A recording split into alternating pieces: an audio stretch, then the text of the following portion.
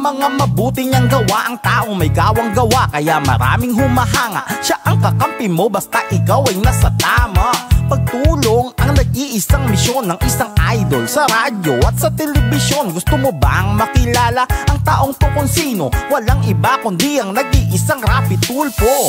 Idol ng Pinoy, idol ng Pinay Idol ng mga driver pati kasambahay. Idol ng mahirap, idol ng mayaman Idol ng kabataan at idol ng magulang. Idol ng tindera, idol ng tindero. Sa madaling sabi, idol ng mga Pilipino. Pag sinabing rapi, lodi malamang At pag sinabing kulpo, matik sa kalam. Ikaw ang idol, ikaw ang idol. Ikaw ang idol, Happy Tulpo. ikaw ang idol. Ikaw ang idol, ikaw ang idol. Happy Tulpo. Siguradong mabibilib kahit na sino. Dahilan kung ba't ang sarap maging Pilipino. Kaya nais ka namin pasalamatan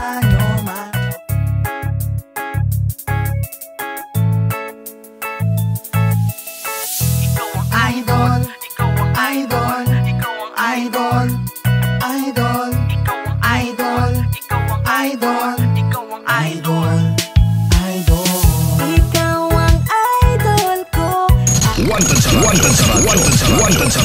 Magandang hapon mga kapatid and welcome po sa maaksyong edisyon ng Wanted sa Radyo. Ang kakampi ng mga inaapiat ngayon po ay February 27, 2024. Ngayon po ay Tuesday. Ako po si Shari Roman at makakasama po natin hanggang alas 4 ng hapon. Attorney Freddy Villamor. Magandang hapon po, Attorney Freddy. Hi, good afternoon po. Good afternoon sa ating netizens. Ano? Pwede ba akong bumati na? Okay. Go Hindi ahead, kasi attorney. importante to. I'd like to greet my son. Yan. Birthday niya po. Today, uh, my youngest and my only son, si Liam Alfredo Villamor, happy birthday. Ayun. And of Happy course, birthday. advance happy birthday kay Shari. Ah, Yan. yes. Tomorrow, tomorrow ba? Tomorrow, attorney. Tomorrow, ayan. Advance Tomorrow happy ang birthday, to ko. Shari and So, happy birthday to my son. Ayan. May ibang babati ko niya.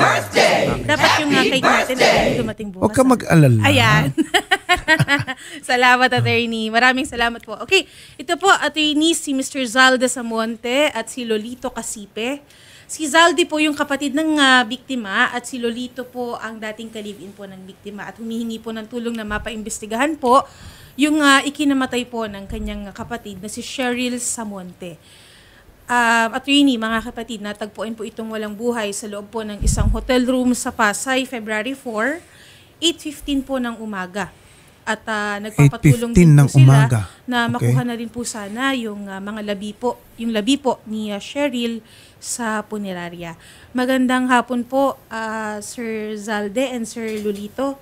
Ah, magandang hapon po ang na. aming pong uh, taus-pusong pakikiramay sa inyong uh, kaanak.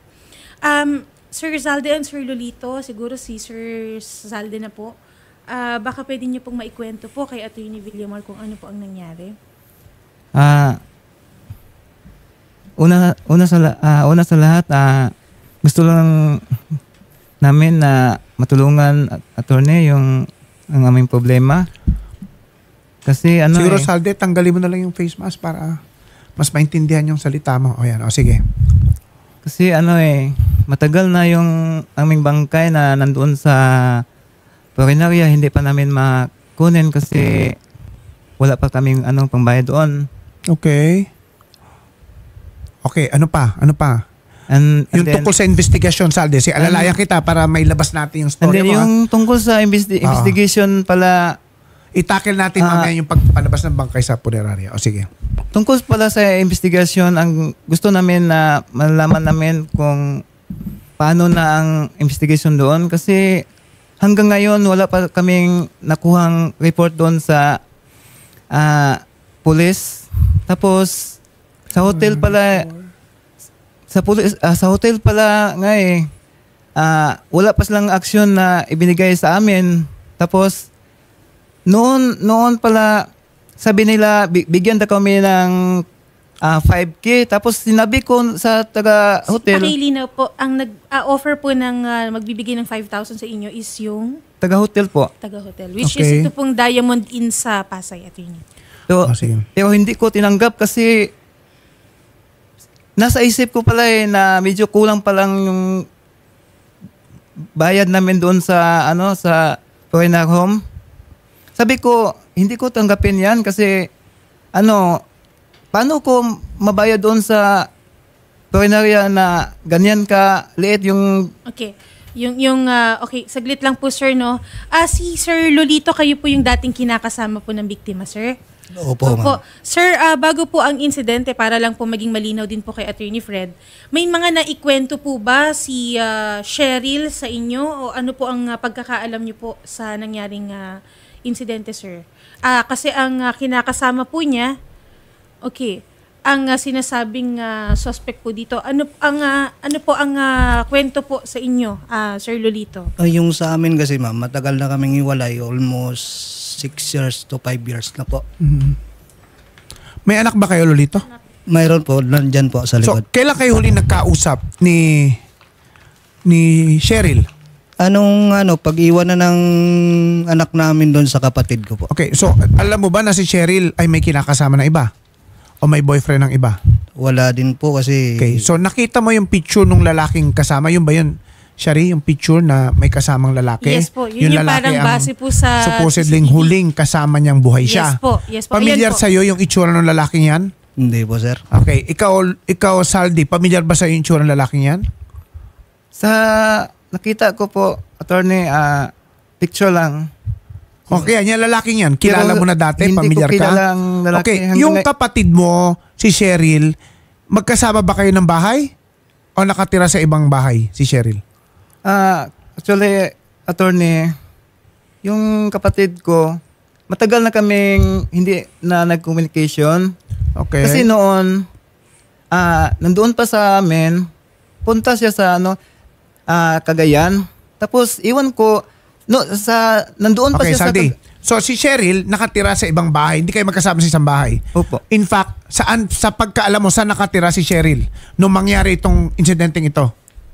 Sa, Sa Tansa po sir. Tansa, Cavite. Opo. Kaya ikaw, saan ka nakatira? Sa Mindanao na po. Mindanao. So, kailan mo nalaman na si Cheryl Samon, si Cheryl, yung kapatid mo, ay napatay na pala at namatay siya sa loob ng motel? Kailan mo nalaman? Ah, February 7. Kasi, February 7. Okay. Sino ba ang pinakamalapit niyang kamag-anak na kasama niya sa bahay? Pagkala mo. Ah, sa ngayon, attorney, hindi ko alam kasi matagal na kaming walang communication eh. Sige, mabuti pa, Cheryl. Siguro, punta na tayo sa police Opo. investigator na tayo, ha? Opo, Opo, pero para naka makapag-update tayo. standby na din po attorney yung operations manager po ng Diamond in Pasig. Oh, sige, unahin na lang muna natin siguro si... Pero si police investigator nasa linya na ba? Yes po, nasa linya na rin. Ah, sige. attorney. Ah, si Chief- Captain Dennis ah, Desalisa, yung Chief Investigation and Detective Management Ah, Captain Section po. Dennis, ah, kindly hold on lang ha. Kakausapin lang namin operations manager ha. Captain Dennis, please. Ah, sige. Ah, Eugene, Mr. Eugene Yes. Apostol. Ah, Good Eugene, Attorney. maaari bang ah, ikwento mo sa amin anong nangyari nung ga- araw ng nung February 4, 2024 nung matagpuan ang bangkay ni Cheryl Samonte sa loob ng inyong sa, sa loob ng inyong ah, motel, ano? Sa, sa Opo, loob ng opo. Diamond Inn Pasay. Opo, opo. Nung magta-time na po yung room po nila, pinuntahan na po ng room boy namin yon. Ano, no? Pakiulit, Ngayon, pakiulit. Nung magta-time na po yung room nila, Nung na- nung, Nung ano? magta-time na daw po. Ah, magta-time. Okay. Oho. Ah, Eugene, Sino- para maintindihan namin ha, ano Opo. ibig mo sabihin magta-time? Ah kasi ang kinuha po nilang room is 2 hour, two hours po. So, ibig sabihin, nung mag expire na yung, yung time nila na 2 hours, pinuntahan Yes po. sila sa kwarto tinawagan lang? Ah, tinatawagan po, hindi sumasagot. Okay, sige. O, anong So, nangyari? pagka ang, pro- ah, ang procedure po, pag hindi sumasagot po, napupuntahan po sa room boy. Okay. Ngayon, So, hindi pa rin po, suma- pinuntahan na po, hindi pa rin sumasagot. Pumunta po yung room boy sa supervisor. Sinabi po, Okay. hindi sumasagot. okay. So, nag-decide po silang, may master key po kami, bi- binuksan po nila yung room. Nakita po nila, patay na po yung babae. So, anong oras nakitang patay na yung babae? Ah, mga 7.05 po siguro. Kung di ako 7.05. So, Opo. ah, so ang nag-trigger sa kanilang puntahan yung kwarto ay dahil sa walang sumasagot nung tata nung mag nung mag-expire na yung time nila na 2 hours, correct? Opo, opo. So opo, in short, attorney. kung alas 7 nakita yung bangkay, mga alas 7 ka mo, more or less opo. alas 5 sila ng umaga nag-check-in, tama ba? Yes, 5 sa aming pong report ay 5 sa aming CCTV po ay 515. Okay. Ah, Eugene, pwede bang pakisabi mo, paano ang procedure ng pag-check-in sa inyo? Ah, pag ah, pag check-in po, pupunta po sa sinasalubong po ng aming room boy. Okay? Tinatanong po ako yung ilang hours. Ayun po. So, in short, So- kayo, through your room boy, nalalaman nyo kung ilan silang nag-check-in, tama? Ah, yung room boy, i- i-radyo po sa supervisor. Yung supervisor po magsasabi. Kung Kaya anong nga. vacant po. So si check-in, si, si room boy, sasabihin sa supervisor, Sir, may nag-check-in na dalawang tao ganitong oras, correct? Yes, apo. apo. Okay. Yung procedure naman ng pag-check out nyo is pag pa-expire na o nag-expire na yung 2 hours, i-confirm nyo kung mag-check out sila o mag anong gagawin? Mag anong options nung nung bisita Pwede mo? po- pwede Either mag-extend. mag-extend or mag-check out na, correct? Opo, tama, opo, tama po. Okay. But what do you do? What is the SOP if in between or during the period of 2 hours, yung kasama ay aalis at may may iwan na isa sa kwarto? Anong prosi anong SOP nyo pagka ganun? Ah, kasi sinisingil na po namin yan, no? Paano, So, paano, paano, Eugene? Ah, Eugene, pakiulit. ho kasi, pag 2 hours and 3 hours po, sinisingil na po kagad yung mga yan. Pinapa, Pagka anong ginagawa? Ano uling ginagawa? Sinis- sinisingil na po kagad. Sinisingil na, Pag okay. five- Opo, pag 5 hours and 12 hours, hindi po sinisingil after checkout na po. Hindi, Eugene, ang tanong ko is this. Okay. Opo. Alam nyong dalawa silang nag-check-in. Opo. At alam nyo na ang check-in, ta- ang, ang, ang oras sila is for 2 hours, correct? Opo. Opo. Ang tinatanong ko, ano bang SOP ng motel o ng ninyo pagka yung kasama aalis na mag-isa at Opo. alam mong may may iwan na isa sa kwarto? Paano Opo. may SOP ba kayo tungkol doon to make sure na yung iniwang tao ay buhay o walang nangyari sa kanya na Opo. kagagawan ng taong umalis? Anong SOP Opo, niya opo. pagka ganon? Tinatawagan po yan. Okay, in this particular case, okay? Opo. In this particular case, tinawagan nyo pa yung naiwan sa kwarto nung lumabas o umalis na mag-isa yung lalaki? Kasi ganito ang ginawa ko ng lalaki, tumakas po yung lalaki. Paano tumakas? Mayroon po kami footage po na nung tumakas po siya, lumabas po. Kailan nyo nakita yung footage na yung lalaki ay tumakas? Nung dumating na po yung mga polis, nung pinanood na po yung footage po. So, okay.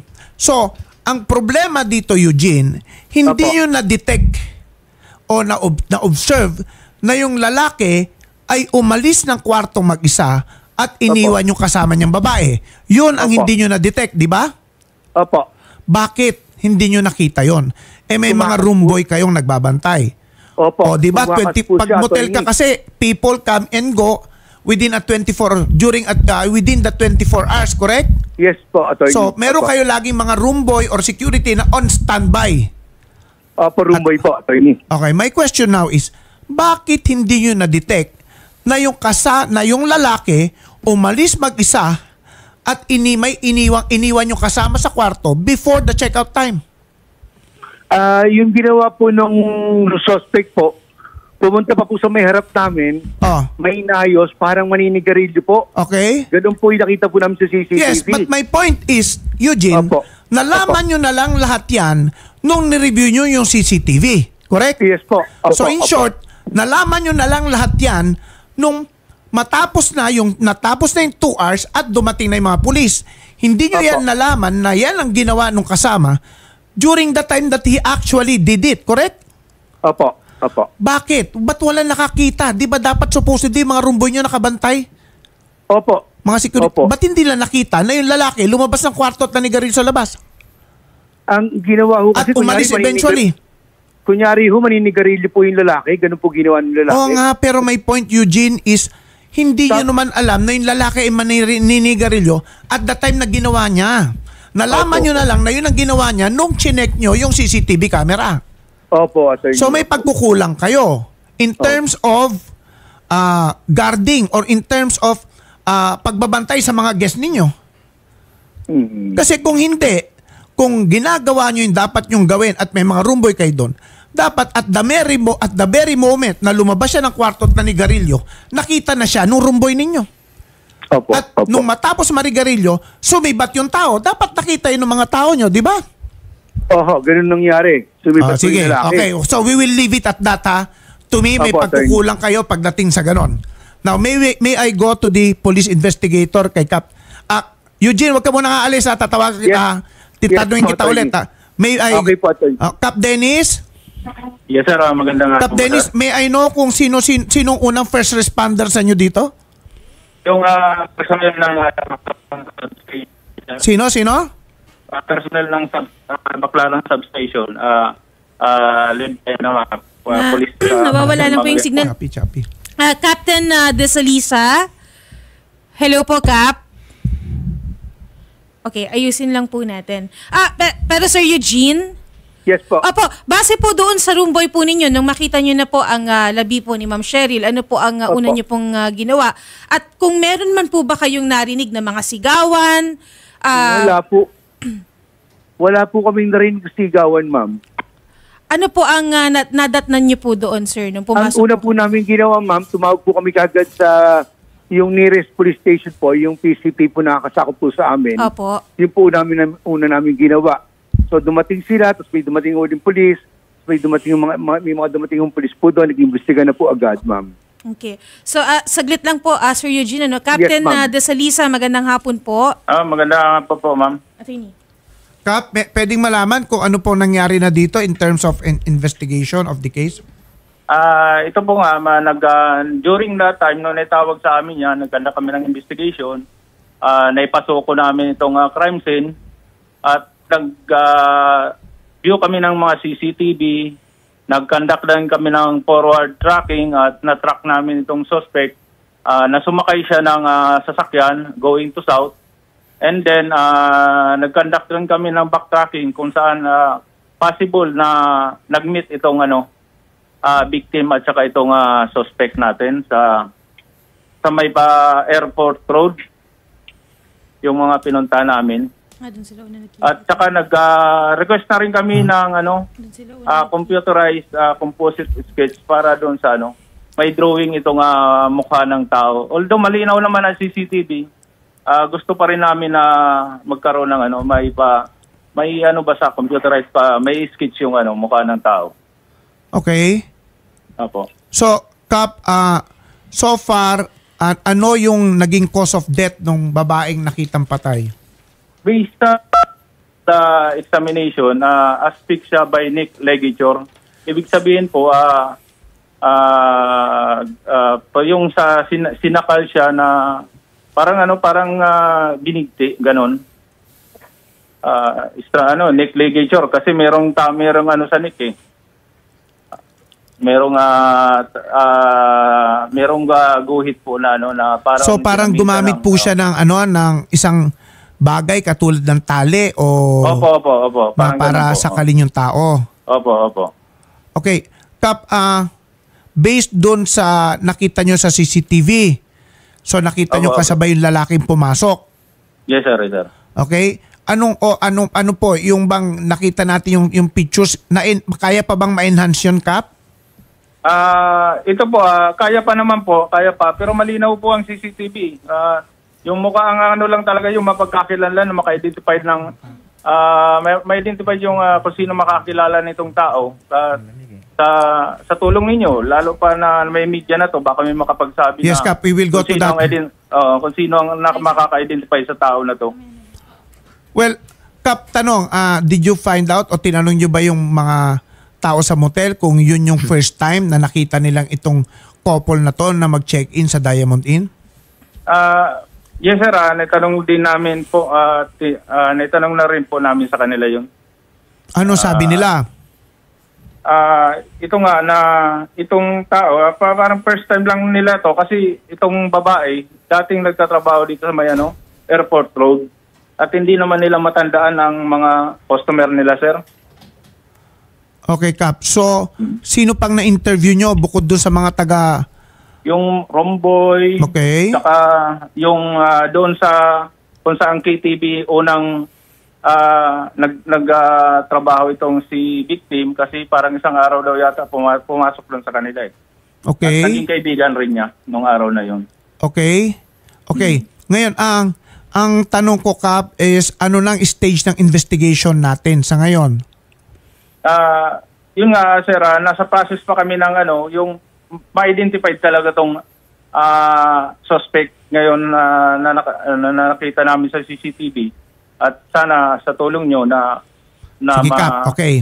Opo. Ngayon, ah tungkol naman dun, Kap, sa hindi na-monitor ng mga room boy or ng security ng ah, motel, yung pag-alis nung kasama, ah, ano ba, Kap? Bakit daw hindi nila na-monitor yon Hindi nakita ng mga room boy yung paglabas sa motel nung lalaki? Ang nakita sa paglabas ng motel, ah, parang sinalsiyan sila eh. Okay? Nung paglabas eh. Pero, Okay. garilyo muna. Nag, parang nagkunwari lang yung suspect. Mm-mm. Tapos biglang na tumakbo pagdating dito sa May Ortegas. ah straight na hanggang sumakay na siya ng ano eh, ng, ng ah, jeep eh. Okay, Kap, ganito kasi ang aking posisyon tungkol dun sa ah, pagkukulang ng motel na Opo, hindi nakita yung paglabas ng kapartner. Mm. Di ba, Kap, napakaraming incident sa mga motel na yung iniiwan na lang ng kapartner na yung iniwan ay patay na. Maraming ganyan Opo. situations, Kap. Opo.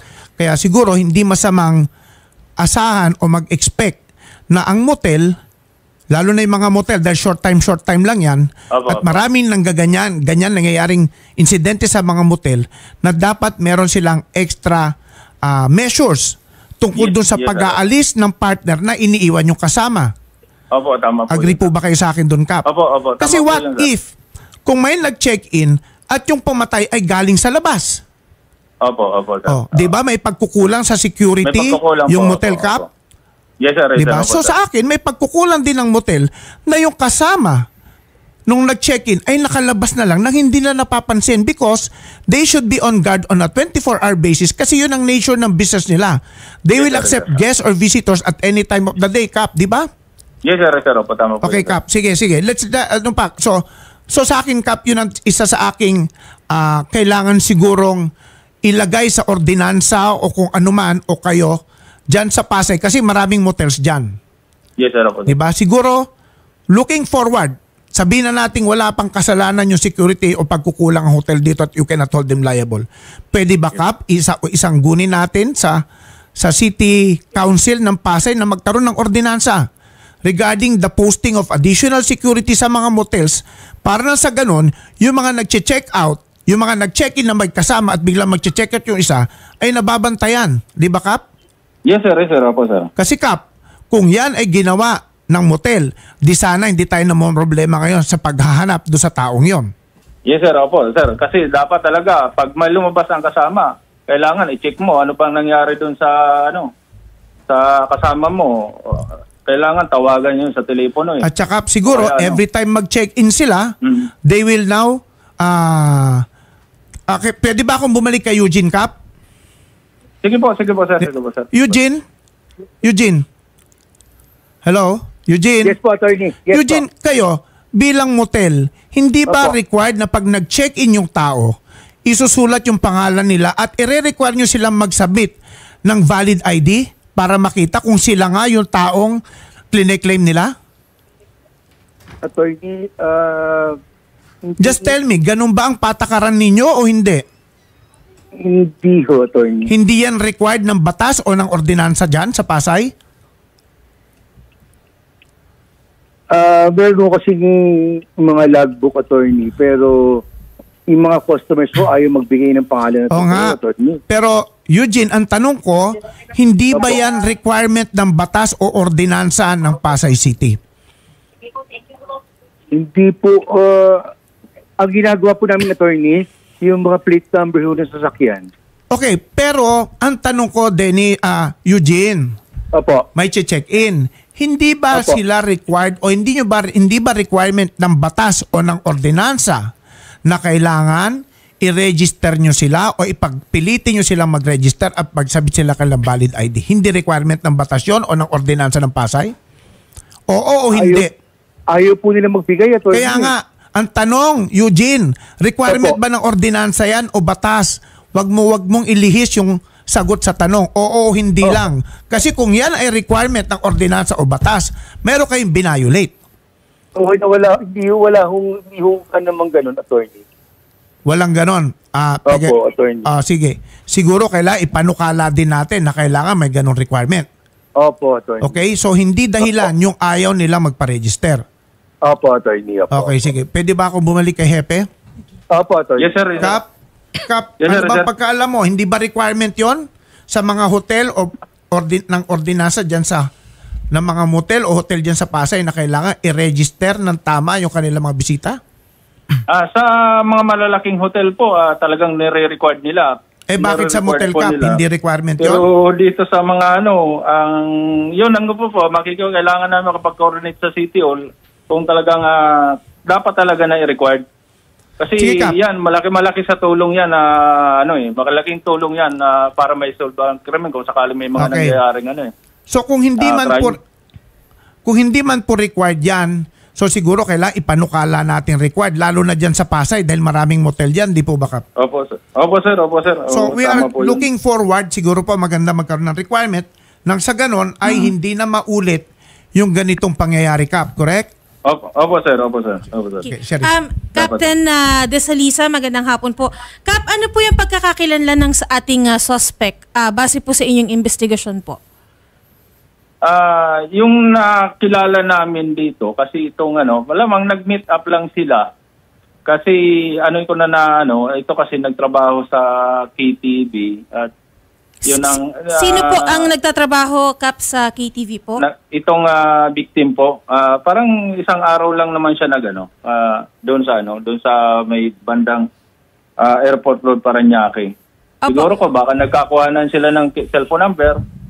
Tapos yun, na nag-meet na sila. Kasi parang kung titingnan mo CCTV, para talagang ano, mag girlfriend at saka boyfriend sila eh. May may ibang witness pa po ba kayong nahagilap, Captain Desalisa, ah, patungkol po dito sa insidente? May mga Meron iba bang kaming po. doon sa ano, kung saan siya nagtrabaho na sa ano sa KTV yung kaibigan niya pero hindi nga siya makaano kung anong anong pagkakilala ng ng ah, ah, na-meet niya na lalaki na yon. Ah, so parang meet up lang po ang nangyari. Mm. Okay. Mm, Ah, Sir. Eugene, ah, saglit lang po kapas. Ah, Sir Eugene, Po. meron po ba kayong logbook sa inyong ah, hotel? Ah, wa- wal- wala po yung ano, ma'am. Hindi po kami nag Ah, okay po. wala pa po kami listahan, ma'am. Ano. Okay, ah Kap, okay, let's focus now on the kwan, yung suspect dito, Kap, ha? Hello, Kap. Yes sir, sir, sir. Oh, ah, kind, Sheriff, papost na nga natin sa ano, yung picture ng lalaki. Ah, sige po. At i-enhance Ah. natin. O, sige, Kap, i-enhance natin para gagawa natin announcement. Medyo malayo Opo, ata opo. ito. Okay, Kap, pa, pa- paano kung meron kaming leads o anong pwede natin sabing telephone number na tawagan ng ating mga netizens just in case may idea sila kung sa matatagpuan itong lalaking ito? Ah, kung sakali man na merong makapagsabi sa pagkakilala ng kakilala ng tao na to na na-post nyo dyan sa screen nyo, ah, maaari pong ah, tumawag sa amin. Ito lang po, may contact number po ako. Mm-mm. At ah, pwede po natin na ano yun, ah, masampahan natin ang kaso to. Na suspect Okay, dahil ah, paano yung- talagang oh. continuous pa rin ang follow-up namin para ma-identify ito. So, ang kung may possible leads po tayo, pwede po silang tumawag siya, ano, siya, sa ating ano, no? Yes po, or ah, Opo, opo. makikipag-ugnayan po tayo. Sige pa, kami na rin paparat, paparatingin na rin namin sa inyo, Kap. Sana, Kap, magkaroon Yes, tayo ng mga panukalang yung mga ah, measures tungkol sa pag-check-in dyan sa motel. Hindi naman Yes, sir. porke sir. kinuha yung pangalan ng mga nag-check-in, hindi naman proteksyonan yung privacy nila. Ano Opo, Kap, sir. di ba? Yes, We sir. can Sir, opo, require tama them po to submit their names and IDs for purposes of record purposes or future reference in case na magkaroon ng crime. Pero it doesn't sir. mean that we will be violating the right to privacy. So yan po ang Yes, tatandaan natin ano. What we are trying to vo- to avoid is the occurrence of something similar like this in the future. Kasi Kap, do you agree with me na hindi itong first time nangyari sa loob ng motel yung mga ganyang insidente?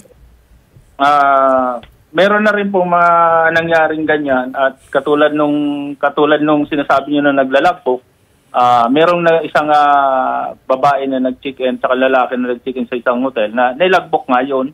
At doon kami nagkaroon ng lead na nasolve namin yung kaso. Precisely, suspect. So yun, ang naging advantage yun at naging malaking tulong sa inyo sa pagsosolve ng crime is nakalagbook yung niregister nila. Yes, sir. Yes, sir. Opo, yung nakalagbook yung nag-check-in. So Yes, yan sir, po sir. ang ibig kong sabihin sana Mm.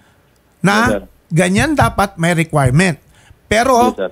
porke nakalagbook sila, it doesn't mean na pwedeng i-expose or i-ano ng motel kung sino may nakasulat doon. Yes, sir. At sir. least nagkaroon Ah. kayo ng future reference cap, di ba? Yes, sir, sir. Ah, nagkaroon kayo ng future reference at nasolve namin. Maganda po yung uh, kinanet na ng kaso at identified po yung tao. Okay, At Kap. So, arestado. so that is now, nakita natin yung significance kung meron sanang ordinansa na nire-require na ilagbook man lang yung mga taong nag-check-in. Yes, sir, sir. Opo, Ah, sir. Makipag-coordinate kami niya sa sa local government po, sir. Okay, thank you, Kap. Okay, salamat po ah, Captain ah, Dennis ah, Desalisa. Kung meron man po tayong update ah, patungkol po sa sa suspect, ah, ipagbigay alam niyo po sa aming staff para po maabiso din po namin yung pamilya. Salamat po Captain ah, Desalisa, ang Yes, ma'am. chief po ng Investigation and Detective Management Section ng Pasay City PNP. At yes po, Attorney. Okay. Punta tayo sa problema nyo sa punerarya. Ah, Cherry, okay na tayo doon sa aspect na yun, ano? Yes po. Nasa kabilang linya po natin kasi kanina po ay ah, nai, naisabi rin po sa atin ni Sir ah, Zaldi, yung kapatid po ng ating biktima, kaugnay po sa punerarya po o sa iba pang gastos po nila Sir. Opo. Ah, nasa linya po natin si Ms. Alma Ipanag, ang ah, focal person for assistance ah, ng ah, Camiguin Provincial Office. Sa office po siya ni Governor Xavier Jesus Romualdo. Ba't taga-kamigin ba kayo? Yes po. Yes po, taga Camiguin sila. Ba't iuwi nyo yung bangkay doon? Ah, k- pwede siguro, attorney, dito lang namin Sige. il- Mas, at least mas hindi mapapamala. Ma'am Alma, Yes po. ma'am, ah, pwede ba natin mat- matulungan itong dito si si Saldi kasi yung asawa niya ay, Hindi. ay kapatid, Kapatid pala, po. no? Ay natagpo ang patay sa loob ng isang motel sa Pasay. Pero hanggang ngayon hindi lang malabas malabas-labas sa punerarya dahil wala silang pambayad. Ma'am, ano po bang pwedeng assistance ang pwede natin maibigay?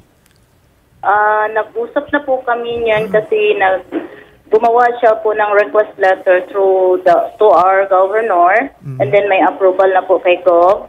Inaantay na lang po namin yung death certificate saka yung funeral contract na i-release ng Coronarya. Pero hanggang ngayon hindi pa eh, wala pa akong natanggap. Sige po, ah, Miss Alma, Ayusin lahat po natin. ng ah, documents po na kailangan po ay ibibigay po namin ng staff po namin sa inyo. Lahat po, ah, Miss Alma. At ah, una sa lahat, paki ah, sabi na lang po kay Gov ah, Romualdo na maraming maraming salamat po sa tulong po ni Gov. Teka, pwede akong bumalik kay Kap. Yes po. Kap? Kap? Okay, naputol po. Ah, attorney. naputol na ba? Okay, Miss Alma, Yes po. Opo, wag niyo na lang pong ibababa yung linya at ibibigay po namin lahat po ng impormasyon para po doon sa biktima natin na si Cheryl Samonte. Ah, sige po. Ah, Opo, asa linya pa ba natin si Kap, Cherry? naputol. O yung nasa ano, yung taga operations manager? Salamat po, Miss Alma. Okay po. Magandang Yung hapon ating po. operations manager, wala na? Okay. Ah, Sir Eugene. Yes po, yes po. Eugene, tanong ko Hello? lang kasi may nag-post Opo, dito na nag-comment dito na tingin ko it's a good good good ano, good point ano. Meron bang na-recover na cellphone mula sa kwarto, na cellphone ng babae ni ano? ng Hindi po biktima? namin alam, uh, attorney, dahil yung police na po ang nag-take over. Ah, okay, sige, sige. Siguro So, si ah, Oo, Captain kasi, na Dennis. Pa, oh, baka Opo. pag na-forensic kasi yun, siya rin, malaking bagay din yun. Mga, may Captain laman- na Dennis de Salisa, magandang hapon po. Po- po. Kap? Yes, yes, sir. Kap, may na-recover ba kayong cellphone doon sa scene of the crime? Ah, wala po kaming na-recover na Ah, okay, cellphone, okay, okay. sir. Sige. Kasi yung unang pagkakilala namin sa biktima, ah, hindi pa yung ano, tunay niya na pangalan, yung alias lang. ah, Kap, may, yung, yung mga gamit po ba ng biktima ay nandun pa rin po? Or ano na lang po yung nakuha po? Nakuha din po ba sa biktima yung wallet? Wala po, wala po. Pati ID po, wala nakuha sa kanya. So ibig sabihin, Ah, sige. Na nakawan nung din ano, po. nung kan. Mm, mm, mm. Nilinis. okay. Kap, ID yung po, ano, wala yung motive of nung robbery, wala dito, wala. Wala, kami, wala Hindi. kaming ano, identity sa kanya. So Kap, ah, wala rin yung tipong robbery na ninakawan siya? Lumalabas ba ninakawan siya, yung babae? Ah, yun din, ah, tinitingnan din namin yun. Pero ang ano, bakit ah, magkakila ano kasi kung ti- titingnan nga natin eh. ang CCTV na magkaakbay silang ah, ah, nag, magkausap, ah, nag, na, naglalakad. Okay, sige. Nag- Sige po. Maraming salamat Oh, po. ulit, Kap- ah, netizens, Yes please look at the pictures. Kailangan po namin ng tulong nyo na ma-identify natin itong, itong suspect dito, ha? Maraming salamat sa ating mga netizens at pakitingin na mabuti kung sino itong lalaking ito. Okay. Ah, Sir Zaldi and Sir Lolito, Yes, ma'am. ah, gayon po, naka-standby po sa atin ang ah, ah, office po ni Governor Okay para po. doon sa financial assistance, kaugnay po doon sa mga pagpapalibing po or burol, nakaalalay po sila doon. Okay. And sa investigasyon naman po, once po na nakita po natin or nakahanap po tayo ng panibagong update po sa kaso po ni Cheryl, agad po namin ipagbibigay po al- alam po sa inyo. Okay po. Okay po. And uh, Sir uh, Lolito, Ah, yes, ma'am. okay po. Maraming salamat Thank po. Ilang taon na po yung anak niyo po? Magti-12 na po sa ano po, April 12 po. Okay. Sige po, sir. Um, kausap. Okay po. Sige po, attorney. O, pa na, o. O, do- condolence, ah. Ayan po. Ayan. Sige, Thank sir. you po. Maraming salamat po. And uh, muli po ang aming pong uh, taus-pusong uh, pakikiramay po sa inyo po, Sir uh, Zaldi and Sir Lolito. Magandang hapon po. Magano nga. Sige po. Okay, at uh, newsbreak muna po tayo, attorney. Sige. Okay. At uh, magbabalik po ang Wanted sa radyo at ang oras po natin ay 2.37 po ng hapon. At ang oras po na yan, mga kapatid, ay hatid po sa atin ng Move It, Discarding Tapat, and Pagoda Air Freshener. Ang paboritong air freshener ng bayan and family, rubbing alcohol, hindi lang pang pamilya, pang sports pa. And Clean Fuel, mga kapatid, Ah, magpagas na po kayo sa Clean Fuel dahil tuloy-tuloy pa rin po ang Paskong Panalo. Ah, ng ah, Clean Fuel, ah, magpagas lang po kayo ng 1,000 pesos po of fuel products at maaari po kayong manalo ng brand new Toyota Race and Vespa motorcycle and one year free fuel supply. At sa kada karga po natin tuwing Sunday sa simula po ng promo, meron po tayong Sunday double your raffle entry ka pa kaya mag-download na po kayo ng bagong Clean Fuel Rewards app. Okay, 2.38 ang hapon, dyan lamang po kayo. Ikaw ang idol ko Idol ng mga Pilipino Ikaw ang idol, Sir Rapid Ulpo Lahat kaming kababayan mo ay saludo True na true na ito! Pagdating sa news, information, public service at entertainment sa iisang station. Dito na pala talaga kayo, Radyo 5 True FM. Binatilyo pa lang ako noon. Madalas, naiipit, nasusugatan, nadadaganan na mas malaking kalaban. Saksi ang family rubbing alcohol na gawa ng Pagoda Philippines sa bawat sakit na tiniis ko. Pero dahil sa tiyaga at determinasyong magtagumpay, bumangon at lumaban. Kaya ito ako ngayon, isa na akong pamilyadong tao. Apat na put isang taon na ang kaagapay ng pamilyang Pilipino ang tanging produktong pinagkakatiwalaan ng mga kampyonato. Epektibong disinfectant panlaban sa mikrobyo na nagdadala ng sakit at pampaginawa pa. Mula noon hanggang ngayon, ang Family Rubbing Alcohol gawa ng Pagoda Philippines hindi lang pampamilya, pang sports pa. Kamote! Kamote naman. Try mo to. Ha? Ang mura naman! Dito ka na, sa mapapamura ka talaga. Move it. Discarding tapat. Robust Dietary Supplement for Men. Sabi nila, ang tunay na lalaki, matibay, magaling at matikas. Samahan mo pa ng Robust. Gawa ito sa Epimedium Extra, L-Arginine, Songaria Cynomorium at GABA with proper diet and exercise. Para makasiguro, bumili sa mga Mercury Drugstores nationwide. Robust, 70 pesos per tablet lamang. Robust, para sa mga kalalakihan. Hatid sa inyo ng ATC Healthcare International Corporation. Mahalagang paalala, ang Robust ay hindi gamot at hindi dapat gamiting panggamot sa anumang uri ng sakit. Inaamin ko na may mga bagay na mabilis nagpapagalit sa akin. Madali ako magalit sa mga taong mapangapi at mapangabuso. Pero lingid sa inyong kalaman, mabilis din ako magalit kapag may amoy ang kotse na aking sinasakyan. Dahil dito, palagi kong sinisigurong mayroong Pagoda Air Freshener ang aking sasakyan. Tanging Pagoda Air Freshener lamang ang aking pinagkakatiwalaan pagdating sa pagpapabango ng aking sasakyan para kahit nasa gitna ng gitgitan at bohol-bohol na traffic, ulo ko ay palaging kalmado. Ginagamit ko rin ang Pagoda Air Freshener sa aking banyo, kwarto, opisina at aparador upang maging kaaya ang aking kapaligiran.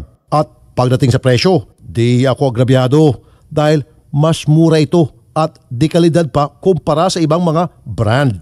Ang mga scents ng Pagoda Air Freshener na strawberry, apple, lemon, orange, lime at pine ay mabibili sa mga Mercury drugstores at sa inyong mga kilalang suking tindahan at supermarket. Robust Dietary Supplement for Men. Sabi nila, ang tunay na lalaki, matibay, magaling at matikas. Samahan mo pa ng Robust. Gawa ito sa Epimedium Extra, L-Arginine, Songaria Cynomorium at GABA with proper diet and exercise. Para makasiguro, bumili sa mga Mercury Drugstores nationwide. Robust, 70 pesos per tablet lamang. Robust, para sa mga kalalakihan. Hatid sa inyo ng ATC Healthcare International Corporation. Mahalagang paalala, ang Robust ay hindi gamot at hindi dapat gamitin panggamot sa anumang uri ng sakit. Kamote! Kamote naman. Try mo to. Ha? Ang mura naman! Dito ka na, sa mapapamura ka talaga. Move it. Discarding tapat. Inaamin ko na may mga bagay na mabilis nagpapagalit sa akin. Madali ako magalit sa mga taong mapangapi at mapangabuso. Pero lingid sa inyong kalaman, mabilis din ako magalit kapag may amoy ang kotse na aking sinasakyan. Dahil dito, palagi kong sinisigurong mayroong Pagoda Air Freshener ang aking sasakyan. Tanging Pagoda Air Freshener lamang ang aking pinagkakatiwalaan pagdating sa pagpapabango ng aking sasakyan para kahit nasa gitna ng gitgitan at bohol-bohol na traffic, ulo ko ay palaging kalmado. Ginagamit ko rin ang Pagoda Air Freshener sa aking banyo, kwarto, opisina at aparador upang maging kaaya ang aking kapaligiran. At pagdating sa presyo, di ako agrabyado dahil mas mura ito at di kalidad pa kumpara sa ibang mga brand. Ang mga scents ng Pagoda Air Freshener na strawberry, apple, lemon, orange, lime at pine ay mabibili sa mga Mercury drugstores at sa inyong mga kilalang suking tindahan at supermarket. Tuloy ang tindahan ng 5 hatid ng Kadiwa Pop-Up Store 6.0. Tara na't mamakyaw ng samut-saring paninda sa darating na March 1 mula alas 6 ng umaga hanggang alauna ng hapon sa TV5 Launchpad Building, Reliance Corner, Sheridan Street, Mandaluyong City. Mamakyaw ng prutas, gulay, kakanin, seafood, juices, yogurt, coffee at marami pang iba. See you mga kapatid sa Kadiwa Pop-Up Store 6.0 sa March 1 na. Ang Kadiwa 6.0 ay sa pakikipagtulungan ng Department of Agriculture, Signal TV, Media 5, TV5, Nation Broadcasting Corporation, Maya, Philex Mining Corporation at Alagang Kapatid Foundation. Alagang kapatid. Broadcasting from the Radyo 5 studios in Reliance Street, Mandaluyong City. 25,000 watts of Senator Rafi Tulfo sa 92.3 Radyo 5 True FM. True FM. Dito tayo sa totoo. Wanted, wanted sa radyo. Wanted sa radyo. Sa 92.3 Radyo 5 True FM. Dito tayo sa totoo. Wanted sa radyo. Wanted sa radyo. Wanted sa radyo. Wanted sa radyo. 2.44 ng hapon at nagbabalik po ang Wanted sa radyo. And uh, of course, bago ang lahat, nais ko lamang batiin ng happy birthday si Chin Terra. Happy, happy birthday, happy Chin birthday! Oo. si Chin Terra, ayan. May, may mga fans ka dito sa TV5, Chin. Ayan, happy, happy birthday. Attorney, may gigrit ka pa. Mamaya na. Kasi Ah, Mike, muna natin sila at ah, ang dami nila. Sige, mga sige. construction Unahin worker po sila. attorney, mga 35 po sila na nandito sa ating tanggapan sa pangunguna po ni Marjun Labayoga and Louis Iglesia. At uh, nirereklamo po yung ah, okay, ah, ito pong ah, develop okay, mga construction workers po sila ng Total Safe Development at ah, kinakaltasan daw po ng kampanya ng ah, 350 pesos kada linggo bilang kabayaran sa kanilang tinutuluyan sa loob mismo ng kanilang kumpanya. So parang nag ah, kakaltas para sa barracks. Parang inuupahan Ganun po ba? Opo, ma'am. Okay. I magandang hapon po, Sir Marjun, paki and uh, Sir Louis, paki kwento po kay Attorney Villamor kung bakit naging ganun po ang siste ng Total Safe Development. Sige po.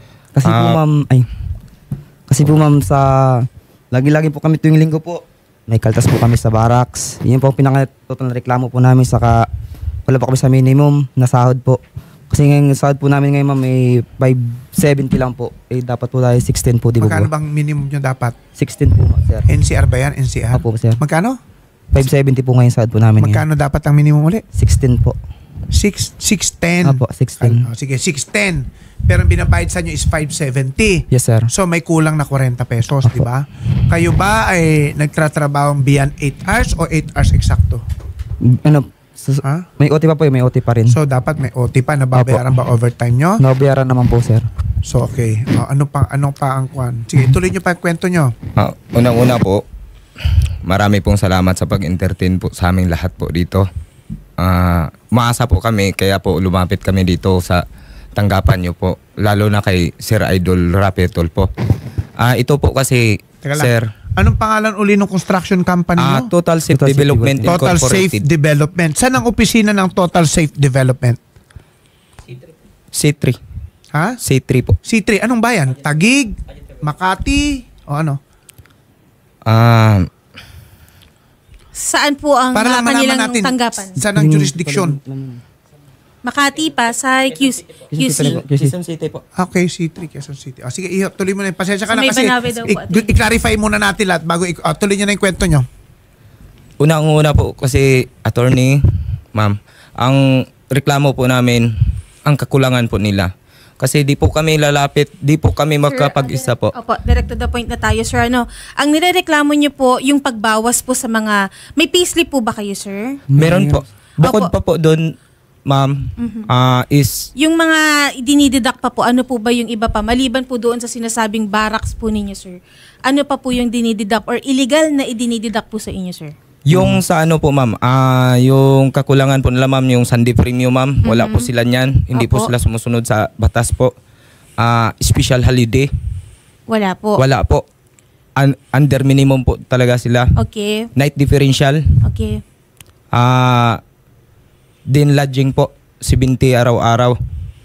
Ngayon bumaba sila nung pag-increase po July 2023 po. Opo. Nag-increase po ng 40 pesos. Pero wala po si wala po silang nangyayari na increasean. Ang nangyayari po is bumaba yung lodging nila ng 50 pesos po. Under agency po ba kayo, Lodging? sir? Lodging? direct? Lodging po. Yung pag yung tinitira nyo, sinisingil kayo? Opo, opo, sir. Okay. Para- Ah, kayo ba kay directly hired kayo ng Total Safe Development Incorporated? Yes, sir. O agency kayo? Hindi po. Direct po sir. Direct hired kayo, Opo, sir. directly hired kayo? Yes po. Okay.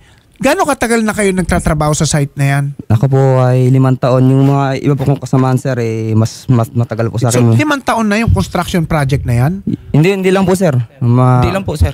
Ano ba yon? Ano yung ginagawa nyo doon? Ba't inabot na ng 15 years, hindi pa Kasi tapos? hindi po, ano sobrang dami pong project nila sir. Kaya po umabot po kami ng ganun-ganun na Okay, pero yung projects na ginagawa nyo ay kung saan kayo natutulog, ando ang construction site. Yes, sir. Ano ba yan? Condominium buildings na marami? Ano ba Commercial yan? building po sir Ha? or mall. Commercial building po. Saan? Ah, unang-una po sir, Metro Central Mall, Laguna. Hindi, eh, bakit magkakaibang s- construction sites ba kayo o Yes, isa lang? Yes po. Isang isang kumpanya lang po Isang kami, kumpanya sir. po kami. Eh, may iba-iba po kasi ng site kaming ginagawan, sir. Ah, Opo. okay. So, kayo, iba-iba ang construction sites kung saan kayo naka-assign. Yes, sir. Okay? At doon meron kayong barracks. Opo. At doon, doon pinagtutulugan nyo, sinisingil kayo? Yes, Yes, po. sir. Ano bang patakaran? From the very beginning, sinisingil na kayo? Yes po. Yes, sir. Ikaw, limang taong ka na dyan. Opo. So, every time may construction, may site, may barracks, matutulog, sinisingil ka? Yes, sir. Okay, but ano ba usapan nyo tungkol doon sa, Sinisingil po sa nila. sinisingil, sa paniningil nila? Yung usapan po doon sir, yung pinirpirmahan po namin doon Oo. is electricity at saka tubig po yung binabayaran namin sa Oo. halaga na yun na 70 pesos. Yun po. So naka-benefits po ng employer po namin. So yung dinididak sa inyo, hindi dahil doon sa pagtitira nyo doon, kung hindi pambayad doon sa kuryente at tubig na nakukonsumo Yes po. nung barracks nyo. Opo. Okay, so magkano dinididak nila? 70 po sir. 70 po. Ano, sa A day. ta- reason na, ba yon o sobra-sobra sa tingin nyo? Actually sir, ano po sir, sobra-sobra po talaga yung 70 Kasi kung 70 a day, 70 a day, Yes po. ilang araw ba kayo natutulog doon sa site? Isang linggo po, sir. So tuloy-tuloy pitong araw. Yes, sir. So maski Sabado Linggo, sinisingil kayo ng 70 pesos? Hanggang Saturday lang po sila sir. Hanggang, so, 6 days a week, sinisingil kayo ng 70 pesos. That is how much? 21, 10, 410. 420. Kada linggo. Yes po. Isang tao. Yes, sir. So ang bayad nyo sa kuryente at tubig, isang tao, every week is 410. Yes, sir. O ilang kayo nakatira doon? Lahat kayo, ganon. Apo. Doon sa barracks, lahat kayo. Ay, yung admin lang po yun. Ha? Admin lang po. Admin? Apo. Regular, yung, regular lang po yung ng company. lang po sir. Kasi may pa sa payroll po kasi kami sir. Pa sa payroll at saka admin. Yung lahat po na admin po, kaya po naghihirap po yung admin.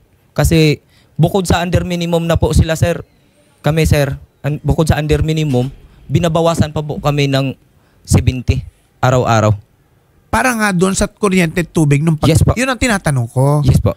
So ilan na nakatira doon sa barracks? Kung sampu kayo, ibig sabihin, sampu yung sinisingil ng 420 kada linggo. Tama ba ako? Yes, sir. So parang 4,200 yon.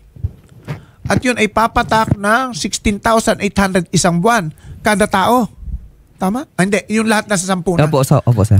Parang sobra-sobra yon ano, Yes, sa sir. tingin nyo, no? kung kuryente tubig lang. Opo. Okay, pwede natin makausap yung taga-dole. Um, nasa linya natin, ayaw po kasing sumagot ng Total Safe Development Incorporated. Ah, ayaw po nilang sumagot at ah, nasa linya naman na po natin si Attorney Andrea Beatriz Melo Santos, ang mediator, arbiter ng ah, Dole NCR, Attorney. Okay, Ma'am Andrea? Hello, good afternoon po. Ma'am, nadidinig mo naman yung problema nila. Underpaid sila. Tapos, ah, sinisingil sila ng kuryente at tubig. Supposedly, kuryente at tubig para doon sa tinitira nilang barracks. Pero sa tingin ko, sobra-sobra ata yung sinisingil na yon. Ma'am, ano bang pwede nating maidulot na tulong dito sa ating mga complainants na nandito sa istasyon o studio namin ngayon? Sige po. Ah, una po sa lahat, good afternoon po, lalo na po sa mga manggagawa po. Yung una pong concern niyo po yung dun sa underpayment ng minimum wage. So maganda po na may proper payslip po bang binibigay sa kanila para po makompute natin yung period. Sige ma'am, tanong ko, may payslip ba kayong tinatanggap? Meron naman po, sir. Opo. So, ipunin nyo yun siguro dahil i-compile niyo dahil ma'am, ma'am dadalhin nila sa iyo diyan para ma-compute ano? Yes po, attorney. Okay, Yes po. ano pa? Ano pa ma'am? Ano pa pwede yung- nating yung maisadya sa kanila? Based po dun sa complaint po nila na pangalawa po yung dun po sa lodging nila. Kumbaga yung ginagamit po na kuryente at tubig po. Actually, yun nandun po sa department order po natin. Okay. Dapat may written consent po nila yan and voluntary po yun. Okay. Ma'am, While, tatanungin ko ah, sila ha, the- ma'am, tanungin ko sila ha. Yung Ah, bang sige po. pagsisingil sa inyo ng kuryente at tubig, pirmado nyo yun, may nagkasunduan kayong ganon? Kasi po, ganito po kasi attorney, pag hindi po kami pipirma po attorney, pag initan ng pag initan lang po kami Okay. ng office po. So ma'am, ang allegation dito, maaring ang meron silang pinirmang kasunduan, pero parang napipilitan sila dahil nga magagalit yung opisina sa kanila. Opo. Ano, ma'am, so yun ma'am ang situation namin dito. So parang ah, nire-refute nila yung voluntariness nung kanilang pagpirma doon sa ah, kasunduan sa paniningil ng tubig at kuryente. Hindi, ang gagawin po natin, una po, kailangan din po natin marinig yung ah, side po ng company. Pero po kung ganyan po, kung nire-refute po nila yung voluntariness nung doon sa pag-consent po nila sa pag-deduct nung itong para po sa mga lodging nila or para sa kuryente, dapat po ibalik po sa kanila to. Yung mga binayad po nila, simula po nung time na may unauthorized deductions ay dapat po mabalik po. So pwede palang singilin uli yun mula sa Yes employer po. ninyo Yes, ha? sir. Okay. Ah, ano pa ma'am ang pwede nating so ang dapat Opo. nilang gawin is pumunta sa iyo diyan? Opo, ah, sir, ah, attorney, napansin ko din po doon po sa reklamo nila, ah, may sinasabi din po lala- sila na kulang na 13th month pay. 13th month So- pay kulang? Ah, sige ma'am, may, may sasabihin lang isang ano natin dito, ah, kasabahan. Ah, good afternoon po, ma'am. Ah, ito po kasi, ma'am, nakapag actually po nakapagreklamo na po. Dalawa po kami nakapagreklamo ng NLRC po, ma'am. Ah, kaso po, ma'am, parang tagilid po kami. Kasi last November 30, nagsampa po ako ng reklamo, ma'am. Ha? Nagdemanda po ako ng dinibanda ko po yung kumpanya ko po. And then nag-hearing po kami, nakatatlong hearing po kami ng SINA po. Tumawad Okay. sila sa akin ng 50, di ko po tinanggap, ma'am. Noong ano po, ma'am, yung 19, may flight po ako pa Mindanao, ma'am. And then 29 po, yung dapat ng anuhan namin ng position paper po. Direkta na kung ano gusto mong mangyari. Ma'am, yung 13 man ko po, makukuha ko po ba? So Okay wala po. din po silang So in short po ah, attorney ah, wala rin daw po silang natatanggap din po na 13 month pay. Ang ah, Okay base din meron po. Yung iba po wala po ah, attorney ah, Melo Santos wala daw pong 13 month pay and ah, hindi din po ah, tama yung ah, pasahod din daw po sa kanila attorney ah, Melo Santos. So maganda po siguro attorney ah, ipatawag na lang po natin ang ah, Total Safe Development Incorporated sa inyong tanggapan at ah, imo-monitor po ng ah, staff po ni Senator Raffy Tulfo.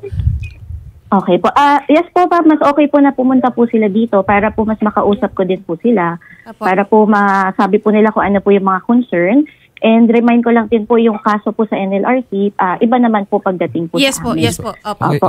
So maganda po na ah, kung lahat po ng documents na yung payslip po nila, dalhin po nila dito para po ah, makompute din po natin yung kakulangan sa 13th month pay, saka po yung sa underpayment ng minimum wage. Yes po. Sige po. Maraming salamat po, Attorney Andrea Beatriz Melo Santos, ang mediator arbiter dole po ng ah, NCR. Maraming salamat po.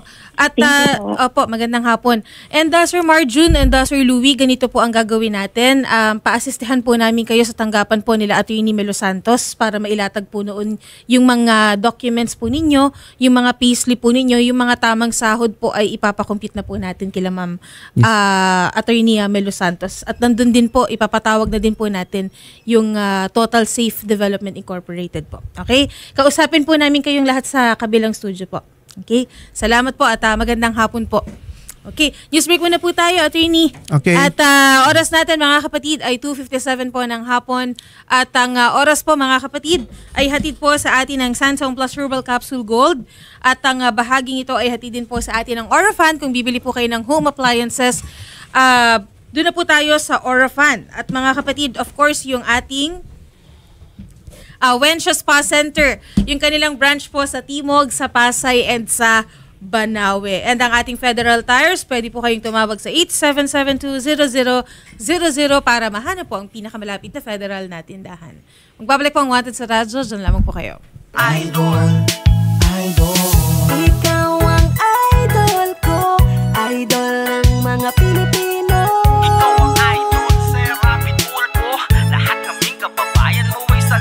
Totoo sa paghahatid ng balita, impormasyon, serbisyo. Totoo sa'yo. 92.3 Radyo 5 True FM. Dito tayo sa totoo. Robust Dietary Supplement for Men. Sabi nila, ang tunay na lalaki, matibay, magaling at matikas. Samahan mo pa ng Robust. Gawa ito sa Epimedium Extra, L-Arginine, Songaria Cynomorium at GABA with proper diet and exercise. Para makasiguro, bumili sa mga Mercury drugstores nationwide. Robust, 70 pesos per tablet lamang. Robust, para sa mga kalalakihan. Hatid sa inyo ng ATC Healthcare International Corporation. Mahalagang paalala, ang Robust ay hindi gamot at hindi dapat gamiting panggamot sa anumang uri ng sakit. Binatilyo pa lang ako noon. Madalas, naiipit, nasusugatan, nadadaganan na mas malaking kalaban. Saksi ang family rubbing alcohol na gawa ng Pagoda Philippines sa bawat sakit na tiniis ko. Pero dahil sa tiyaga at determinasyong magtagumpay, bumangon at lumaban. Kaya ito ako ngayon, isa na akong pamilyadong tao. Apat na put isang taon na ang kaagapay ng pamilyang Pilipino ang tanging produktong pinagkakatiwalaan ng mga kampyonato. Epektibong disinfectant panlaban sa mikrobyo na nagdadala ng sakit at pampaginawa pa. Mula noon hanggang ngayon, ang Family Rubbing Alcohol gawa ng Pagoda Philippines hindi lang pampamilya, pang sports pa. Mga ka-true! Ngayong 2024, mainit pa sa summer ang Campus Fever. Dahil sa pamantasan ng lungsod ng Maynila, ang next stop ng University Hopping ng Radyo 5, True FM. Totoong usapang radyo, The True FM University Tour.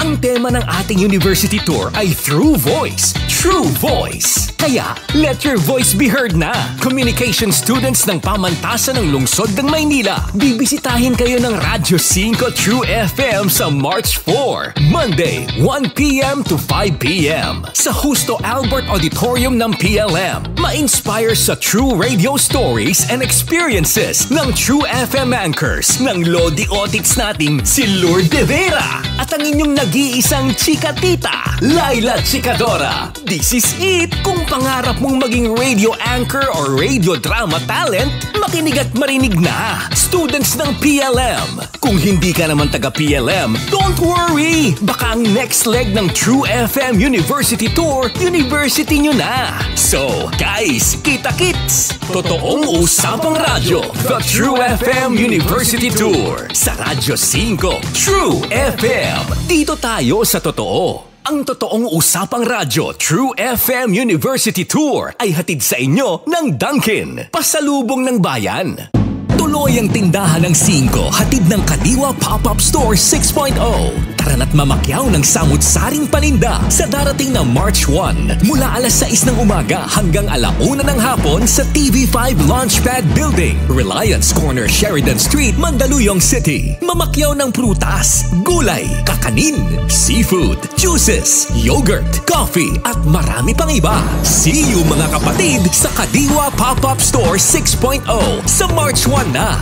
Ang Kadiwa 6.0 ay sa pakikipagtulungan ng Department of Agriculture, Signal TV, Media 5, TV5, Nation Broadcasting Corporation, Maya, Philex Mining Corporation at Alagang Kapatid Foundation. Alagang kapatid.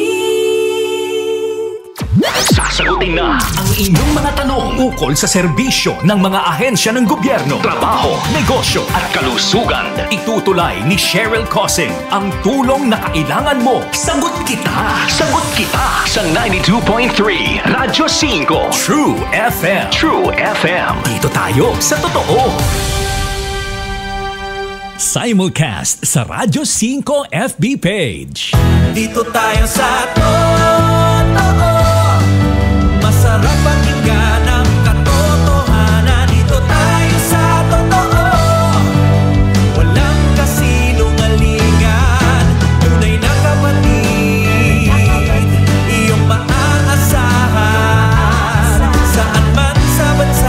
sa mundo na may Pilipino Dito tayo sa totoo 25,000 watts ng totoong tunog ng FM radio. Totoong pinalakas, totoong pinagtibay ng mga batikang mamamahayag sa paghahatid ng news, public service, entertainment, music, information at inspiration para sa bawat kapatid, bawat Pilipino. Ito ang 92.3 Radyo 5 True FM.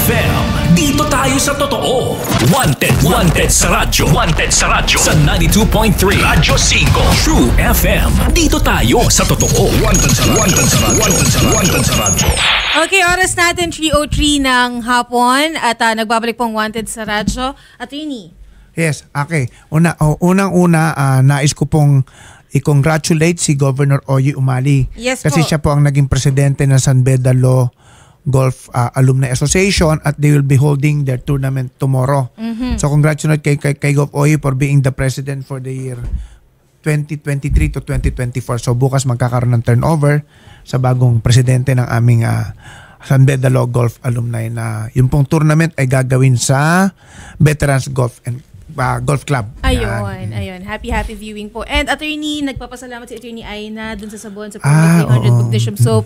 Thank you very much daw po. Naku, sana magustuhan niya. Yes, mukhang uh, magugustuhan ni man ni attorney and syempre sa mga nag inquire po kasi may nagsasabi yung mga kababayan mo daw ah, sa Ilocos nangihingi daw ng uh, Oh. Promag. Mag-message lang sila sa aking page. Ayan. Yes, Attorney Freddy Villamor and also sa kanyang ah, sa official Facebook page po ng Ah, ah, ah. UPMI official Okay, Facebook yan. page. oh. Okay. Hindi pala, ano lang, may remind ko lang na sana i-follow nila yung page ko, yung Attorney Freddy Villamor kasi ah, pinost ko doon yung page ng na picture namin mag-asawa at may tanong kami kung sinong kamukha ng misis ko. Mm. Mamimili kami ng magugustuhan comments ng misis ko 10 at padadala namin sila ng 500 pesos Wow! sa kanilang GCash. Ang ganda ng misis mo, Attorney. Ah, kaya nga eh. Napakaganda ni Nakachamba ako, nakachamba. Napakaganda talaga. Any rate, so, so, yung po ah, 500 pesos, mamimili Oo, ka ng mga kami sa- magko-comment. Hanggang dalawampu na.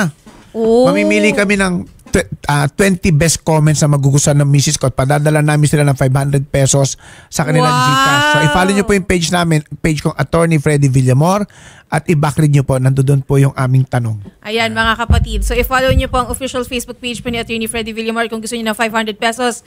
Ayan, mag-comment kayo po, kung sino po. ang kamukha Yan. ni Piskal. Yan. Ayan. Okay. Si May Siubal Okay, May Siubal. Okay, tama po.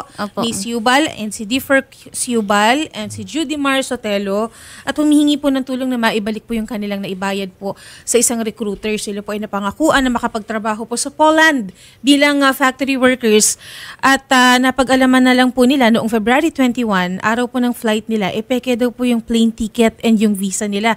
At yun mga kapatid, ang kanilang naibayad po dito sa ah, nagpanggap na recruiter ay 1.3 million pesos. At ang nirereklamo ay yung nasa ah, screen po ninyo si Mary Grace Villanueva. Yan, Siya yan, po si yung Mary illegal Grace. recruiter Oo. na nakatanggap po ng 1.3 million pesos ayon po kila Ma'am May and kila Sir Differ. Magandang hapon po mga ma'am and sir.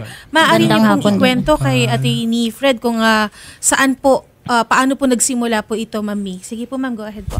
Nakakilala po namin siya. Uh, kaibigan po siya ng pinsan ng asawa ko. Pinakilala po siya sa amin na nagre-recruit daw yung, may kilala siyang nagre-recruit. Tapos siya po yung nagpasok sa amin, ma'am. Uh, attorney doon sa, ay, uh, in-applyan namin na direct hire. Nag, Nag-meet lang po na kami nung ano, nung pumunta kami ng May- Maynila para mag-medical. Okay. Tapos po nun, uh, bale nag, ano po sila, nagpabayad po sila ng uh, slot po at saka yung, uh, ano ba yung, Sige, tulungan mo kung yung tinatanong ni ni May. Teka, taga Abra ba kayo lahat? Saan sa Abra? Sa San Isidro. San Isidro. Ako, ako kami, ako, taga Bangged ako. oh, opo. My father is from Bangged Abra, Villamor. Opo, Ayan. Sige, sige. So ano yan? Ano yung mga eh, dokumento mong nandiyan dyan? Teka, para maano natin yung kwento, no?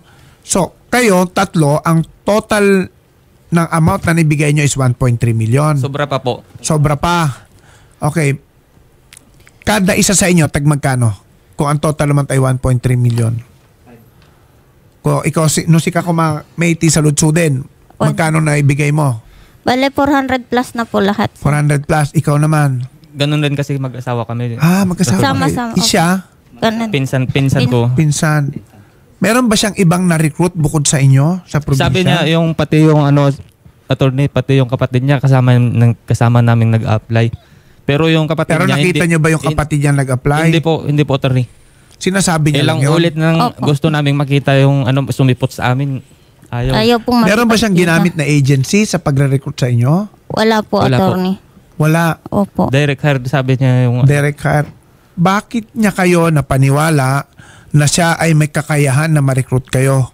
Marami na raw po siyang napaalis at saka po rin po siya nag-a-apply din papuntang Pulan. Pero sabi niya lang yon. Opo. Yun lang sinasabi, marami na Oo, siyang kasi napalis. sabi niya po sa amin nitong ano lang, yo, December po, sabi niya nasa France.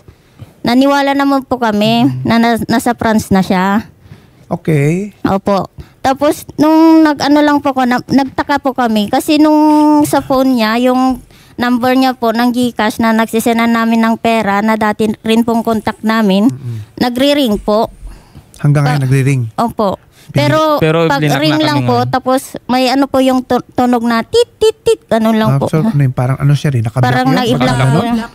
Nakablock sila, no? Opo, Yung- pero ginagamit naman po na nagme-message yun, attorney. Sa pagkaalam nyo, nasan ngayon si, anong pangalan Mary? Grace Villanueva. Mary Grace Villanueva. Sa Pangasinan po, attorney. Bakit nyo alam na napag, nasa Pangasinan siya? Kasi sabi po ng ano, nauna um, uuwi siya ng Pinas nung madam. Okay. Pero bago po noon, sabi niya na nagulo po siya. Sabi niya na nandito rin na, na rin po siya sa Pilipinas. Teka, isang inaangan nyo si Jessica Agliam. Sino siya? Siya po Yun yung ang mismong madam na naglalakad daw ng sinasabi. ano namin attorney is. Pero na-meet nyo ba siya? Hindi po. Hindi no. So, bi- Eh, eh, binabanggit po namin lang. makipagkita sa kanya pero ayaw po nila. Kanino? Si Jessica? Opo. Pero may nakausap ba kayong tao na Jessica Agliam ang pangalan? Um, kachat lang po. Kachat nyo lang. Pero hindi nyo alam talaga kung merong Jessica Agliam. Opo. Dahil lahat, lahat yan, binabanggit lang sa inyo ni Grace. Opo. So all the while, si Grace lang ang kausap nyo. Opo, sir. Siya, yan ba si Grace? Opo, sir. Yan. Ah, o sige. Siguro di- punta na tayo kay ano, Shari, kay Attorney Daniel Daganso. Yes po. Mm. Ang Assistant Regional Director ng NBI uh, car region po natin. Sige po, attorney. Attorney Daniel. Yes, Panyero. Sir, ah, on ah, apparently on its face ano, meron tayo ditong large scale illegal recruitment. Oo. Opo, ano? Kasi tatlo silang na-recruit, ni-recruit. Okay. Di ba pagka large scale illegal recruitment, ilan ba dapat para mag-consider as large scale illegal recruitment? Ah, sila, dapat eh. ah, lima ata ang konton eh. Ah, sige, narrate dyan, sir. Reviewin na lang po. Anyway, ah, Opo. oh. S- Sige sir, ah, ano pa sir ang pwede nating maitulong considering na si itong si si Mary Grace Villanueva ay nakakuha ng ano total amount of 1.3 million or more than 1.3 million mula sa kanila ah, sa pangakong sila ay madedeploy for employment sa anong bansa? Poland po. Poland po. Poland. Okay. Opo, attorney. Ang sabi ng researcher namin kanina, umabot daw kayo ng airport? Opo, attorney. Kasi nung lones po, 19, pumunta po kami ng Maynila. Kasi Okay. sabi po ni Mary Grace na magkipagkita sa amin yung kapatid niya sa Martes para sabay-sabay namin kunin yung mga papers namin. Okay, so pagdating nyo sa Manila, sa kayo Pagdating nagtuloy? po na, sa auntie po namin. Tapos pagdating po ng Maynila, sa araw po na nag-chat na po kami sa kanya, nasabi namin nandito na kami sa Maynila, kung pwede namin kunin yung papers namin. Sabi po, hindi daw ibibigay nung pinaka-head po na madam yung papers namin pag hindi po kami makapagbayad ulit ng 25,000 bawat isa. So, ang ginawa po namin, gusto lang po namin makalis, nagbayad po kami ulit. Pagkabayad po namin, hindi rin sumipot. Sabi, ibibigay na lang Kailan sa ninyo airport. binigay yung pera nung nagbayad kayo ulit? Through Gcash rin po. Gcash, Gcash lang, hindi nyo na siya nakikita. Opo. So, telepono lang kayo nagtatawagan, sasabihin, magbigay kayo sa Gcash number ko at nagbibigay naman kayo. Opo. O, umabot kayo ng airport dahil sa paniniwalang pagpunta Opo. nyo ron, makakalipad na kayo? Opo, nag-arkila Anong po papeles ang hawak ano. nyo para maniwala Wala po naman kasi kayo? sabi nila, pupunta kami ng airport tapos ibibigay yung ano po namin, mga documents. O, pagdating sa airport, ano nangyari? Pagdating po namin ng ano, nasa EDSA pa lang po kami. Oh. Tinext po, uh, sabi po nila na naka, pumasok na sila. Tanong-tanong tanong sila ng taon nung kung nasaan na po kami. Pumasok na sila ng airport. Opo, two Nasa loob na, two anong something. terminal kayo nagpunta? Sa una po kasi nakalagay sa ticket namin, Terminal 2 po. Ticket? Ano yung ticket na hawak nyo? Yung ano Eh, po, yung Philippine sin- Airline po, sir. Kaya nga, anong klase? Ticket mismo? Soft copy? Yung binasa po sa Xerox picture. copy? Eh, ni... Ibinigay ay no sa Cellphone lang din po. Oh my Sige, sige. Okay, total malino namang niloko na kayo dito at pinaniwala kayong makakalis papuntang Poland, ano? So, ah, at- Sir Daniel? Yes, Sir, ah, of- apparently part of the scam or yung panluloko ay nakomit sa Abra dahil nga doon kayo nagbayad ng pera nasa Abra, no? Opo. So, sir, nasa jurisdiction mo to sa Cordillera Autonomous Region. Sir, anong pwede anong dapat nilang gawin para matulungan natin sila sa paghabol sa tao? hindi Hindi niya nakuha yung... Saan pa sila ngayon nakatira? Mm, gusto Teka, po. saan kayo, saan daw kayo ngayon nakatira? Sa Tagig po, attorney. Ngayon po, attorney. Hindi. Rin yung Ay. talagang tirahan nyo. Sa, ah, Sa Abra pa rin? Abra po. Sa Abra pa rin daw sila nakatira, sir. Kailan sila babalik sa Abra? Kailan daw kayo babalik sa Abra? Kung pwede po sana makauwi bukas para po makita yung tatay namin kasi na. O si sir, uuwi sila bukas, so maybe ah, pwede na silang pumunta kung saan man natin sila i-refer, sir. Ang ah, ganito na lang, ah, Panyero, ah, para matulungan natin sila ng ah, maaga, dumiretso na lang sila sa ah, NBI Manila at yan sa DTEC. Meron tayong ah, anti-human trafficking division doon para makunan na siya ng, sila ng statement doon. Pag nakunan na sila ng statement, ipapa-forward na lang natin dito sa Baguio. Kisa naman, pumunta pa sila sa Baguio para lang mag-file at Yes, sir. Yes, sir. ng statement. So, ang uh, pinaka-the best, mag, ah, pumunta muna sila sa atrat namin, sabihin na magpa-file sila ng reklamo at request sa chief doon na i-forward na lang sa Baguio yung mga documents na sinubmit nila doon. So doon sir sila pupunta sa anti-human trafficking section. Division. Ah, dito po sa ano yan ano sa ah, Araneta Avenue po dito sa may Quezon City ano po? Oo. Oo, doon sa VTEC ah, Tower. O sige sasama may sasamahan kayo ng reporter namin ha. Opo. Okay, ganito. Oo, maganda doon. Let's Tapos make- eh, paki, pakikuha na lang, uh, Panyero, na sabihan yung chief doon na i-forward yung mga documents sa NBI car, Baguio. Okay. Para sir, okay sir. namin. O, so ganun ang gagawin natin. Tapos tutulungan tayo ni Attorney Daniel Daganso para ma-file kagad sa prosecutor's office ng Abra. Okay? At ah, may mga kaibigan naman tayo sa prosecutor's office ng Abra. We'll make sure na mapabilis yung pag-resolve ng kaso. Pag sampa sa kaso sa korte niyan, magkaka-warrant of arrest yan. Ang isang maitutulong namin sa inyo, total, nandiyan dyan yung picture ng babae, no? Opo, Ah, ipapas ipa we will make sure na mapaserve natin yung warrant of arrest at Mary Grace Villanueva Garcia, ano, we will make sure na ikaw ay hindi makakapagtago at kahit saan sulok ka man pumunta, ikaw ay makikilala ng tao at para ma-serve ang warrant of arrest sa'yo. So, hintayin natin mailabas yung warrant of arrest, May, ha? Opo. Kunin mo yung telephone number ko. Once na na-file na sa court yan, tawagan mo kami dahil manghingi rin tayo ng tulong kala Attorney Daniel Daganso para Attorney. mapaserve ang warrant. Ngayon, para matulungan natin ang NBI malocate yung tao, once na may warrant na yan, ah, papakiusap ko kay Senator Rafi na maipost natin yung kanyang picture dito as wanted base sa kasong ifa-file ninyo ha Opo, para mapahuli natin siya. Sige po, attorney. Ano, ah, Sir Daniel? Oo, sir. Sir, ganun lang sir para magkatulungan tayo sir. Ah, Okay. No ma-file ka agad then we will help you or assist you in having in serving the warrant of arrest na mapapalabas namin sa piskalya ng Abra. Uh, Ano po? No problem, sir. No problem. Thank you sir. Thank you sir. Ah, okay, ho. Okay, ma'am, ah, may ano po ang mga trabaho po ninyo bago po ninyo nakilala is sila Ma'am Mary Grace po? Ah, ako po, ma'am, ah, housewife lang po, ma'am. Housewife po. Okay, tapos nagtutulong-tulong na lang po kayo ng inyong mister para po doon sa ibibigay po ninyo dito kay Mary Grace. Hindi, ah, galing po kasi ako Or ng... inutang niyo po? Utang, po yung, iba, ma'am. Opo. Bali, magkano po ba ang naibigay nyo lahat-lahat? 1.3 po sa inyo na pong tatlo. Opo, mahigit pa po yun, ma'am. Kasi yung iba po, nag, ah, yung binigay namin na cash Opo. sa kanya mismo, ma'am. Okay. And ma'am, ito pong si, yung pictures po na ibinigay niyo po sa amin, ah, na si Mary Grace Villanueva and si Jessica Agliam, ah, naka-video call niyo po ba sila? At na-confirm niyo po Naka- na sila po yan? Opo, ma'am. Nakamit po namin yan, Si ma'am. Mary Ah, Grace. na-meet niyo naman po. Opo. Nung nag-medical po Yung kami. Jessica Agliam po, nagte-text pa sa amin ngayon.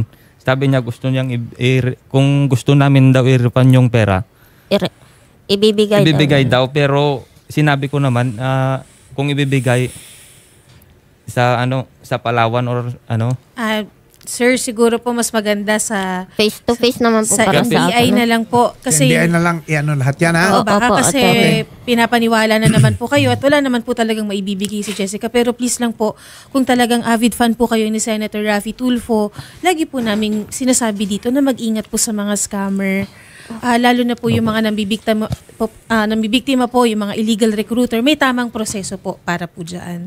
Opo. Hin- hin- Hindi po maganda yung nangyari sa inyo, pero sana po ah, matuto na po tayo sa lesson po na ito. Ano tayo? May, nung at the time na first time yung na-meet itong si Mary Grace, nasa Abra siya nakatira? Hindi po, sir. Sa- Pero sa Abra nyo siya nakilala? Hindi po, attorney. Dito po sa Maynila. Ah, sa Maynila. Okay, Opo. okay, okay. Pero nagpupunta siya sa Abra? Hindi po, Ah, attorney. sige, sige. Sige Okay, po. okay. Sige po. Ma ma'am and sir, ah, samahan po namin kayo sa NBI no para po ma ah, makapagsampa po tayo ng reklamo laban po dito kay Mary Grace Villanueva Garcia ah, na nagpatay na po ng phone ngayon. Gayon din po kay Jessica Agliam. Doon sa mga complaints niyo, make sure kung nasan kayo nung pinadala niyo yung pera, saan niyo pinadala. Para malinaw ma-establish natin yung jurisdiction ng kaso ha. Opo, para hindi masayang at mapa, hindi hindi masayang yung pagod natin ha. Opo, attorney. Make sure ha. Oh. Opo, attorney. Guys, may ka- sana last na to, wag na maulit, no? Opo. Sa ating mga kababayan diyan, ako mag-ingat po kayo na wag po kayong maniniwala base sa salita lang, no? Opo. Ganyan yung mga galing mga loko yung, 'di ba? Na, nakuha po kami sa magsalita, kala mo kung magsalita, totoo. Ang problema sa inyo dito, May, is puro salita lang eh. Wala naman kayong hiningin katibayan o proof kung totoo lahat yung nangyayari yun ha. Opo. Okay? Ingat na lang din po sa susunod, ma'am. Sa ating mga netizens, sana wag, wag kayong matulad dito kalami.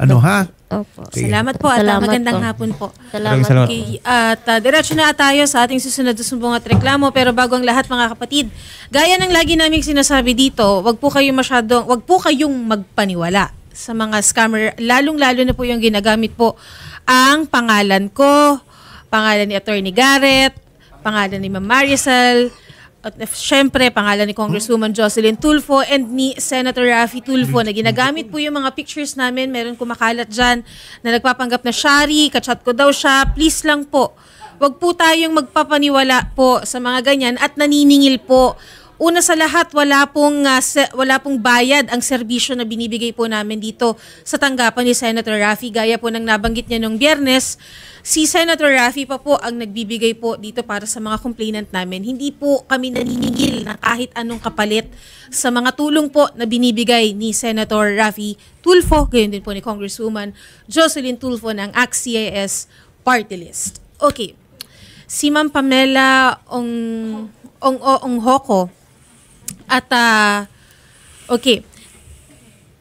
Ito po attorney, ay narereklamo po niya ang kanyang ah, live-in partner dahil po sa pananakit po sa kanya.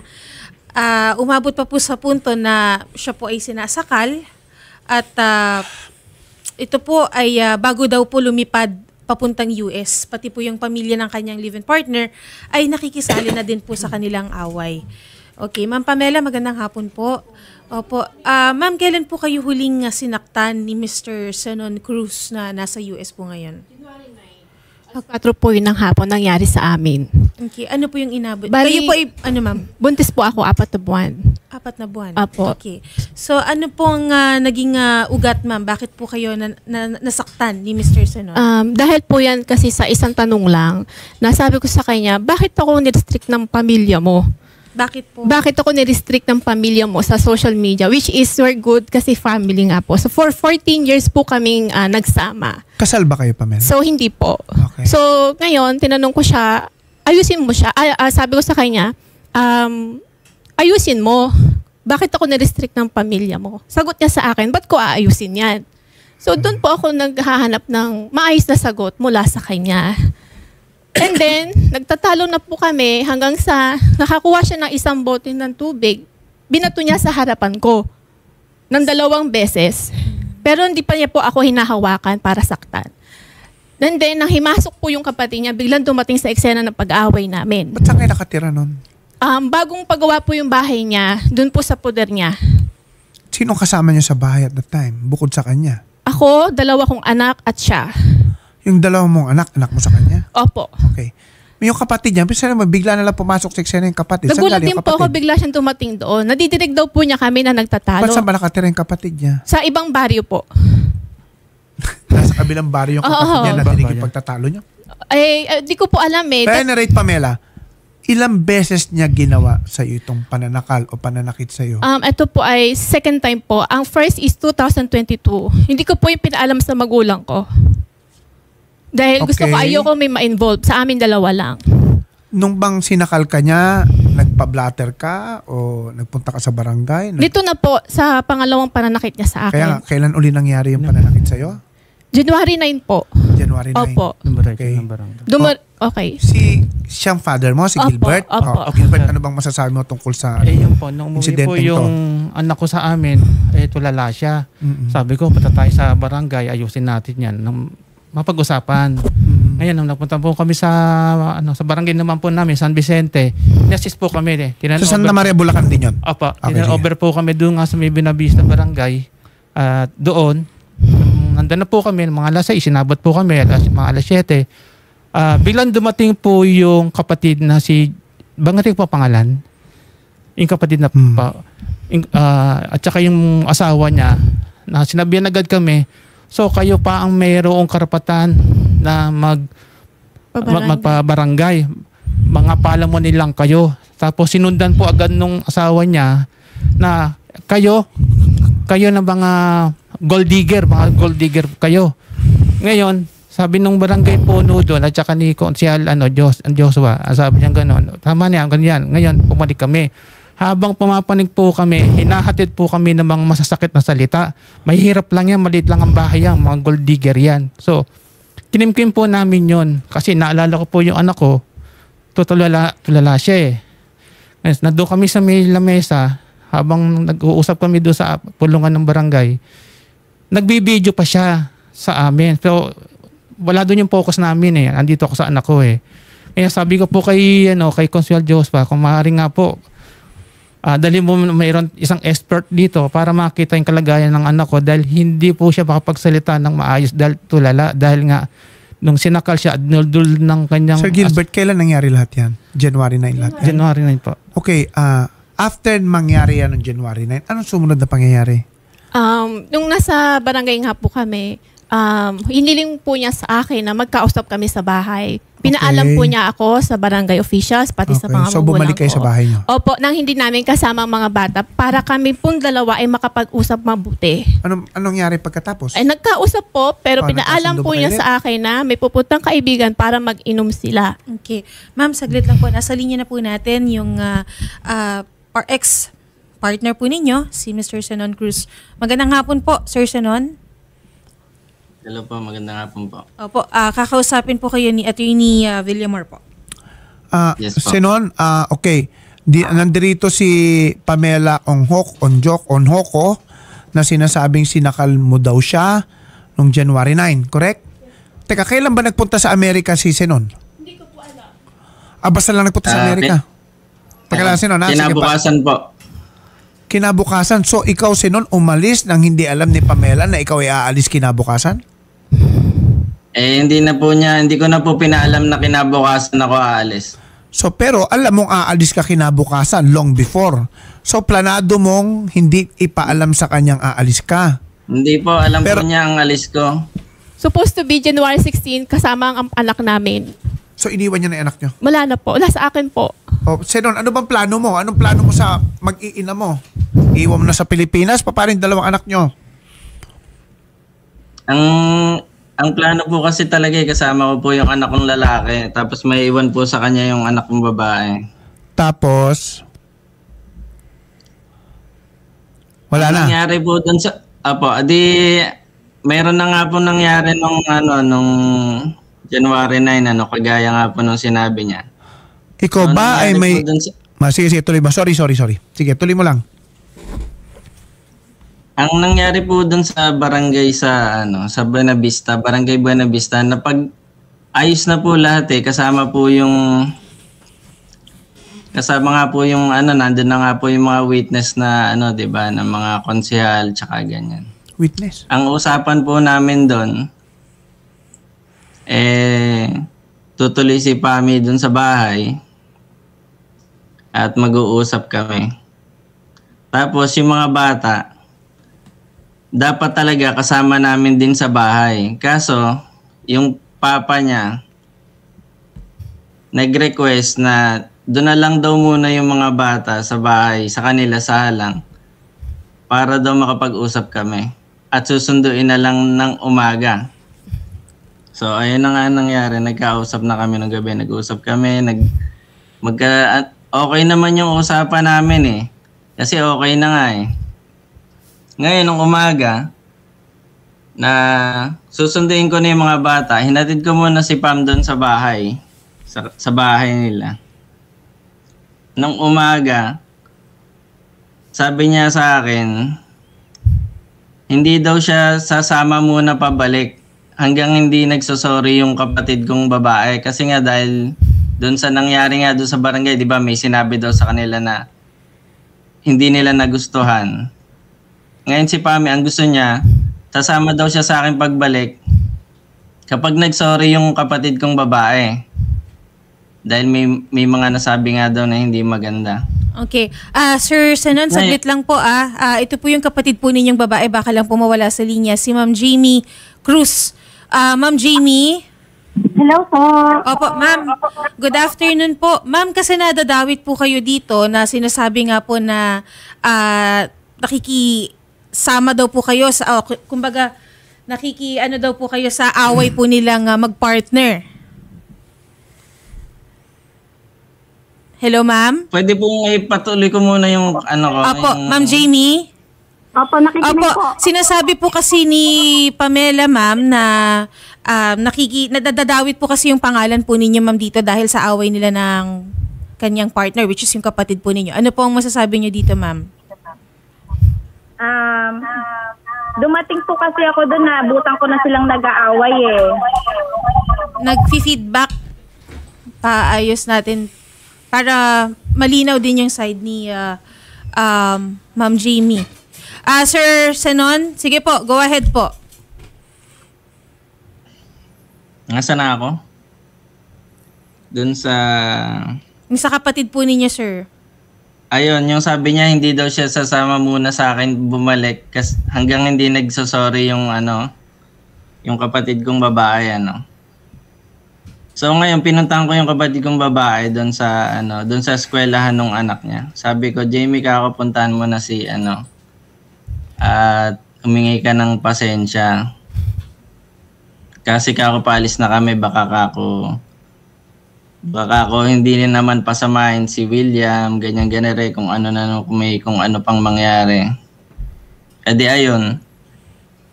Nung nung kinahapunan, nung nung after lunch, pumunta na si Jamie doon kasama yung ninang ko at saka isang konsehal sa ano isang konsehal sa Buena Vista, konsehal ng Barangay Buena Vista. Okay, Sinon, Nagpunta sa ganito. kanila pero Oo. wa- Ah. wala naman daw doon si ano si Pame at ang nadatnan lang yung papa niya tsaka yung mga anak. Okay, Sinon, sige, sige. Okay, ah bumalik tayo dito kay ano, ah, kay Pamela. Pamela, as far as yung pananakit sa'yo, at si Sinon ba nagbibigay ng support sa mga bata? Once lang po siya nagpadala. Simula nung umalis siya? Anong masasabi mo yung pag-alis niya na hindi man lang sinabi sa'yo yung aalis siya? Masakit sa akin kasi wala yung respeto. Pero tal- pero sinasabi mo na alam mo nga aalis siya, hindi mo lang alam na ang pag-alis niya ay kinabukasan na. Opo. Okay. Doon sa pagkakaalam mong pag-alis niya, tama ba yung sinasabi niya dapat kasama niya yung isang bata? Dapat po, sa tamang petsa. Sa tamang petsa. Opo. So hindi muna yung unang pag-alis Opo. niya. Okay. Anong balak mo ngayon dahil ikaw nga isinaktan ni Senon? Balak ko ba mag-file ng Bausi case? Kung yun po ang nararapat. So, ginawa niya sa akin. Okay, so nung ikaw ay nagpa-blatter, nung mangyari yan, Oo. ikaw ba ay hindi hindi mo naisip na pumunta sa pulis? Hindi po. Sa women's desk. Wala nagsabi sa'yo pwede ka pumunta sa women's desk o children's desk ng pulis para makapag-file ng Bausi case? Pumunta po ako doon Okay. para kumuha lang ng advice, Okay. opinion. O, dahil o sa Sinon, ginawa anong niya sa masasabi mo ngayon dito sa gustong mangyari ni Pamelang mag-file ng Bausi case laban sa'yo? Ay, hindi po ba niya naikwento kung bakit po siya nasaktan? Ay, meron siyang nasabi dito na ah, tungkol doon sa pagkaka-restrict mo doon sa ano sa ano ba sa Facebook page? Yun ang sinasabi ko Yun po. ang pinag-umpisahan Opo, na- at yun ay kinagalit ni Senon sa'yo. Opo. O yun, Senon ang sinasabi niyang dahilan. Nagalit ka dahil umaangal siya na na-restrict siya sa Facebook page ng pamilya mo. Ah, yun po yung ano, yung parang initial na naging dahilan kung bakit parang dinabog ko yung tubig doon sa harapan niya. Okay, Senon, Ngayon, ang ganito ha. nangyari po, Mm, sige. ngayon ang nangyari po pagkatapos nun, siya po yung ano eh, siya po yung mahina yung hinahon niya eh. Na yung visa at saka passport namin ni William, eh pupunitin niya. Okay. Kinuha niya, kinuha niya doon sa lamesa tapos pupunitin niya. So, yun ang sinasabi mong dahilan kaya mo siya sinaktan. Hindi ko naman siya hindi ko naman siya intention talaga nasaktan. Hindi ko naman siya sinakal, eh. hindi ko naman siya sinampal, hindi ko naman siya sinuntok, hindi ko naman siya ano. Pero may Inano pananakit na siya sa- nangyari. Inano ko lang siya sa batok eh. Parang hinawakan ko siya sa batok na gano'n. Okay, tapos? Para mapigilan ko siya sa mga kung ano-anong ano niya, baka, baka kung ano pa yung madampot niya, baka maano pa. Okay, Sinon, ganito ha. Ah, Pamela, kung ikaw ay nagbabalak mag-file ng Bausi case o violence against women and children, kahit na Sinon ay nasa, si Sinon ay nasa Amerika, pwede mong i-file yon. Okay. At yung kaso ay tatakbo na kahit wala si Sinon dito sa Pilipinas. Okay po, ato. Okay? Saan ba nakatira si Sinon sa Amerika? Portsmouth, Virginia. Ha? Sa Virginia po. Virginia. Opo. Pero yung address nung kapatid niya, alam mo? Opo. Dito rin? Opo. O sige, so ako ang suggestion ko kung talaga gusto mag-file ng Bausi case, pwede mong i-pursue yung Bausi case na yon. Okay po. Okay, ngayon pag yan ay sumampa ng korte, maaari tayong makakuha ng warrant of arrest at meron siguro tayong makapa, makapunta sa DOJ para sa repatriation ni Sinon o deportation ni Sinon Okay. pabalik dito sa Pilipinas. Kung yan ay kasong yan ay pwedeng pwedeng papasok na pwede siyang mapadeport. Okay po. Okay? Opo. So sino na, ganun ang gagawin namin dito para naman maproteksyonan o pangalagaan din ang ah, ang, ang makakuha ng hustisya si Pamela, no? Yes po. Sa pangyayaring sa ginawa sa, sa nangyayari, nangyaring 'yon. If ever saan nangyari yung ano, yung pananakit sa iyo? Doon po sa bahay niya. Saan ba yung Sa bahay niya? Buena Vista po. Saan ba ang Buena Vista na yan? Ah, Santa Maria din po. So, sa Santa Maria, Bulacan. Opo, opo. So total, nangyari yan January 9. Opo, alas 4 ng hapon. O, so, kahit na February ah, 20 na ngayon or 27, 28, pwede mo pa rin i-file yan. Hindi pa naman nagpre-prescribe yan. Opo. At saka, at saka yan, since bawsi case yan, hindi kailangan dumaan ng barangay, ha? Ah, okay. Pe- Diretso na yan. I'm sure bi- a-advise na naman kayo ng tama. Sasamahan na lang kayo ng reporter namin para malalayan at yung reporter naman namin ay bibigyan kami ng status kung ano nangyayari. Okay? Okay O, Senon, yun ang baling, baling gagawin namin dito para na sa ganun ay Opo. mabigyan ng karapat dapat na aksyon yung pangyayari Tsaka, dun sa pananakit mo. Um, sir, ha? yung about din po sa child protection ko sa mga anak. Kasama na yun. Total, kung gusto, kung, kail, kung gusto pang kunan ng protection order yan, total si na nasa, nasa Amerika naman, kaya useless din yon. Idiretso mo na yung bawsi. Okay, Okay? Kasi baka to, kasi pag magfa-file ka ng PP or, ano, or TPO, magfa-file ka pa ng separate case for that eh. So mag-file ka na lang ng bawsi case Opo. sa sa women's desk para i-file na kagad sa piskalya. Okay? At Okay pag, pag napalabas natin yung warrant of arrest niyan, ay baka mapadeport natin si Sinon using Okay po. the ano ha? Opo, opo. Through the DOJ. Opo. Okay? Ah, sige. Sige po, salamat po. And uh, Sir Sanon, maraming salamat po. Gayon din po kay uh, Ma'am Jamie. Ah, meron po ba kayong uh, last message, uh, Sir Sanon, sa inyong uh, sa nanay po ng inyong mga anak? Ah, wala naman. Ah, siguro I suggest Sinon off air tawag mo na lang dito si Pamela para hindi ka magka-problema, no? Okay? So, Sige, oh, po. At ah, maraming salamat din po kay Ma'am Jamie Cruz. Siya po yung kapatid na na-involve sa away po nila ni Sir Sanon. Maraming salamat po, ah, Ma'am Jamie Cruz. Sige po, Ma'am, ganyan po ang gagawin natin. Kausapin po namin kayo sa kabilang studio. Thank you po. Thank you. Salamat po. Salamat. Okay. Oras po natin mga kapatid, 3.37 Meron po ng hapon. At ah, ah, magbabalik po ang Wanted sa radyo pagkalipas lamang po ng ilang paalala. Diyan lamang po kayo. Pinaniniwalaan, pinagkakatiwalaan, pinaninindigan. 92.3 Radyo 5 True FM. Dito tayo sa totoo. Robust Dietary Supplement for Men. Sabi nila, ang tunay na lalaki, matibay, magaling, at matikas. Samahan mo pa ng Robust. Gawa ito sa Epimedium Extra, L-Arginine, Songaria Cynomorium, at GABA with proper diet and exercise. Para makasiguro, bumili sa mga Mercury Drugstores nationwide. Robust, 70 pesos per tablet lamang. Robust, para sa mga kalalakihan. Hatid sa inyo ng ATC Healthcare International Corporation. Mahalagang paalala, ang Robust ay hindi gamot at hindi dapat gamitin panggamot sa anumang uri ng sakit.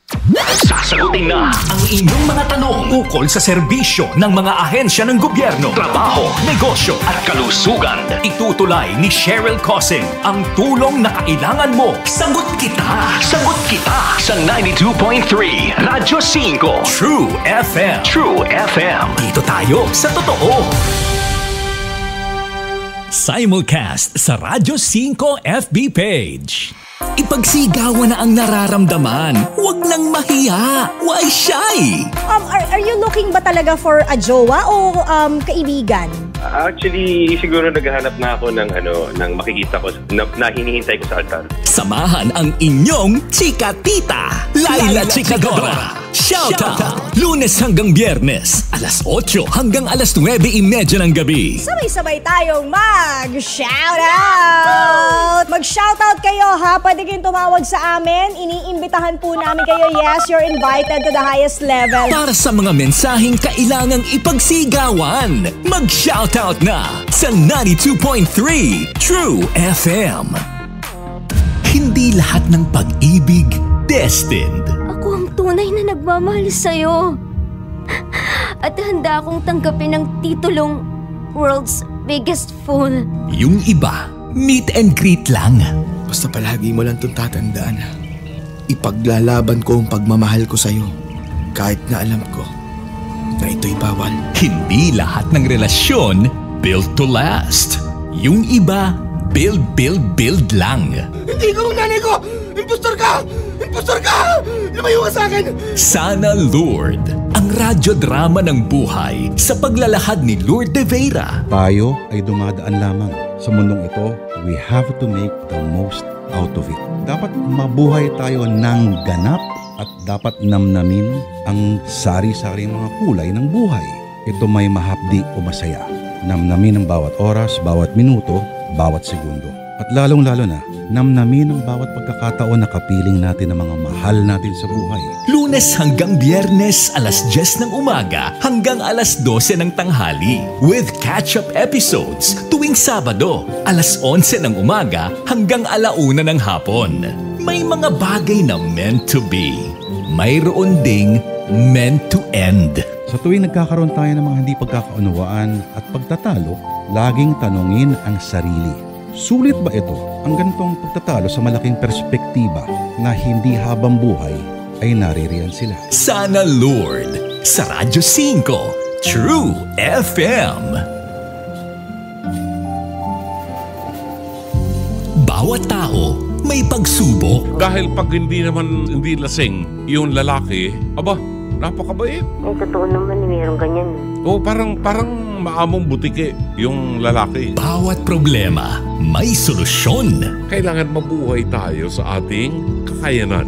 Hindi natin po pwedeng yakapin ang isang malaking puno nang hindi natin mapag-aabot ang ating dalawang kamay. Bawat mali may leksyon. Ang nagmamahal sa kanyang mga magulang nang higit sa akin ay hindi karapat dapat sa akin. Dr. Love. Dr. Love. Sa hirap ng buhay natin, mga kapatid, nauunawaan natin na may mga tao talagang ah, nasisira sa kinang ng salapi.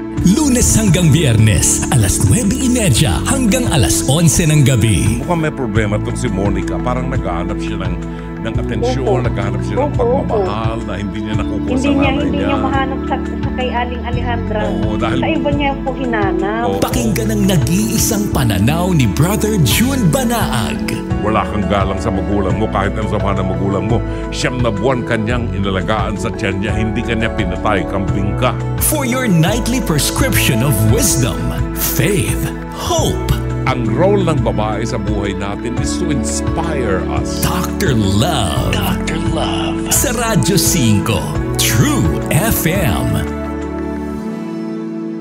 Broadcasting from the Radyo 5 studios in Reliance Street, Mandaluyong City. 25,000 watts of Senator Raffy Tulfo sa 92.3 Radyo 5 True FM.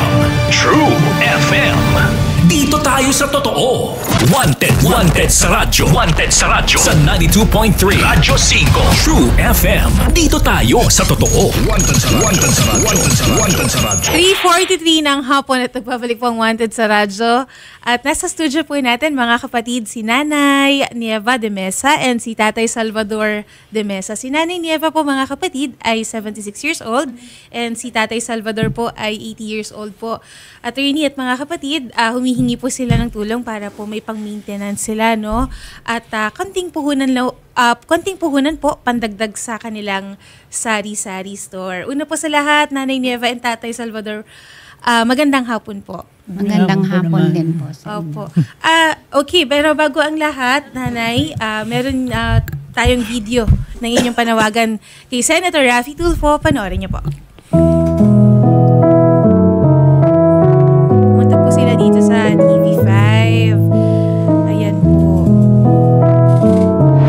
Senador Rapi Tolpo, kami po yung naparito dahil po birthday po namin ngayong buwan na to at humihingi po sana kami ng konting panghanda at konting tulong pangkabuhayan.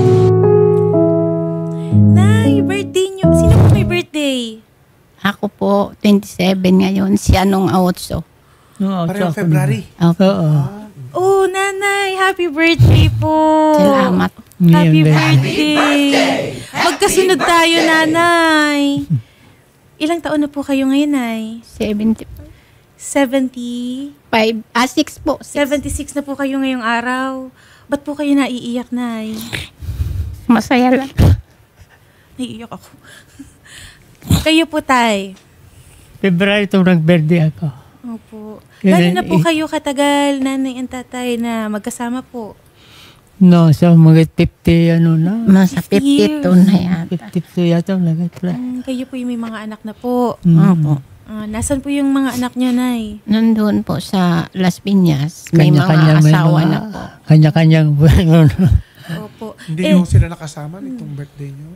Ay, hindi Wala po. balak na Ay, kayo ay magkakasama-sama? Wala po mga pera. Napapaiyak, naluluhatin Kaya- si Attorney Villamor.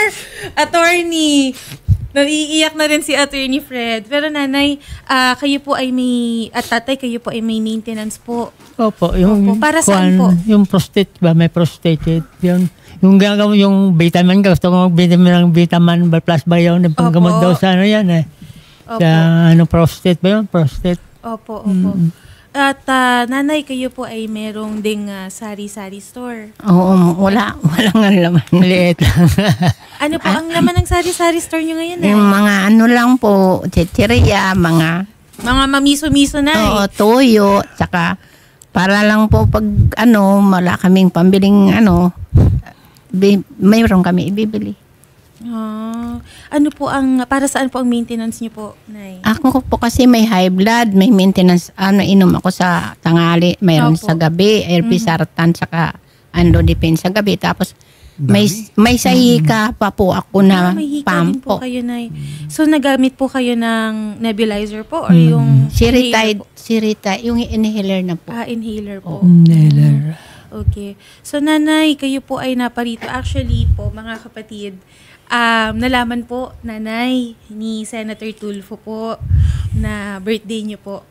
At um, nalaman din po ni Senator Raffy na kayo po ay nangangailangan po ng pang-maintenance and uh, pang sari-sari store. Pero bago po pala ang lahat, nanay and tatay, 50 years na po kayo magkasama. Nagit la. Mahigit po. Mm. So, paano po ba nagsimula ang story po ninyo? nanay, Love letter. Ano po? Love letter. ah. Hindi. Nagkita lang kami niyan eh. Ano Wala po? pang Facebook nung araw. No? Wala pa. Nakita Wala lang pa. po kayo, nanay. Nakikinig po si Senator Raffy. Pinapatanong po ni Senator Raffy kasi kung maalala nyo, mga kapatid, attorney, meron kaming lumapit dito na mag-asawa din kung saan na nangihingi ng tulong para pang check up ng mata niya. Kasi nga po, yung ah, ah, si nanay po ay malabo na po ang ah, kanyang paningin nanay. Ah, gusto po niyang makita yung kanyang partner. So, ang ginawa po nila ni Idol Raffy ay ah, pinag-date sila nanay. Oo, kasi na natuwa si Senator Raffy sa love story nila. Pero kayo po, nakikinig po si Senator Raffy. Ano po ba ang ano ang ano po ba ang story po ninyo nanay at tatay? Ang, ano lang, na, Nung na, araw kasi nagtatrabaho. Paano po ba ninyo niligawan Tatay Salvador si Nanay Nieva? Nakita lang kami sa, nag-send ko trabaho ko doon sa, dati sa pabrika ng ano, ito lang upahan din. Opo. Nagkakilala kami. Dahil nang pananay yan dati kasi nanay siya. Opo. Siyempre nagkakilala, di kaunting kwentuhan, nagkaibigan. Ah, nagkakwentuhan lang po at ah, nagkaibigan na po. Simula po ng tatay, hindi niyo na po pinakawalan. Hindi na. Ilan po ang anak ninyo? anim po. Anim. Oo, apat, apat na babae, dalawang... Curious lang po ako, meron ho bang bumati sa inyo sa birthday ninyo? Ah, um, teka, yung apo ko lang kanina bumati sa akin. Okay, okay. Baka mamaya. Naalala ko, parents ko tuloy. Mhm, Opo. So, um, Nanay Nied- ah, Nieva and Tatay Salvador, nag-message po si Senator Raffy Yan. since nanonood po siya ngayon. ah, med, ah, naparating po namin to kanina bago po siya maging busy kanina. Na iparating na po namin. Ah, nanay, um, pero bago ang lahat, meron lang po kaming ibibigay sa inyo, Nanay. Okay? Nasa na? Mga kapatid natin dyan sa likod. Opo. Nanay, ako po bu- bukas naman po ang birthday ko, Nanay. Happy birthday. Happy birthday. Happy birthday po sa ating Kakasunod. dalawa. Tsaka birthday naman ng anak ko. Oo, birthday din ng February anak ni din Senat pala kayo. ni Attorney Fred. Liam. Ayan. Okay. Oh, ayan, may Happy birthday to you. Nanay. Ito po, Nanay. Niyo po yung cake po ninyo. Maraming maraming salamat po. Nay, oh, mag-wish muna kayo. Mag-wish muna kayo. Nay, mag-wish muna po. Miss ka na. Sana. Sabihin ko. magi, mabigyan ako ng malusog na katawan. Sa aming mag-asawa. Salamat po. Happy birthday! Happy birthday, nanay. Happy 76th birthday po. Okay, at nanay, hindi po natatapos dyan yung regalo po, yung uh, ibibigay po ni Senator Rafi. Okay. Ako muna, ako muna. Okay, pero bago daw ang lahat, may ibibigay daw si Atty. Thank Ay, alam nyo, may dollars ako dito. Ang tagal ko hindi ko nagagastos o nagagalaw.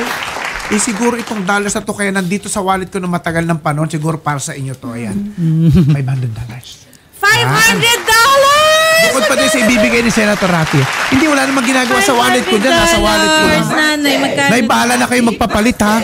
Kesa naman 500 pesos lang ibigay ko, di ba? Salamat po, attorney. Maraming maraming salamat sa inyo. nagkakalaga ng 27,500 po kung Pero ngayon kung wala kayo nakita, attorney. Ha? Ngayon kayo nakita. Ngayon ko lang kayo nakita. Ay, ganun ho ba? Oo, dahil lagi kayo ni sinasabi ni Senator sa akin na ano, pag nagsa-programa tingin kayo, ko- programa, di ba? Na, tayo tsaka nay, para sa inyo yan. Kasi ang tagal nang nasa wallet ko lang yan. Walang ginagawa.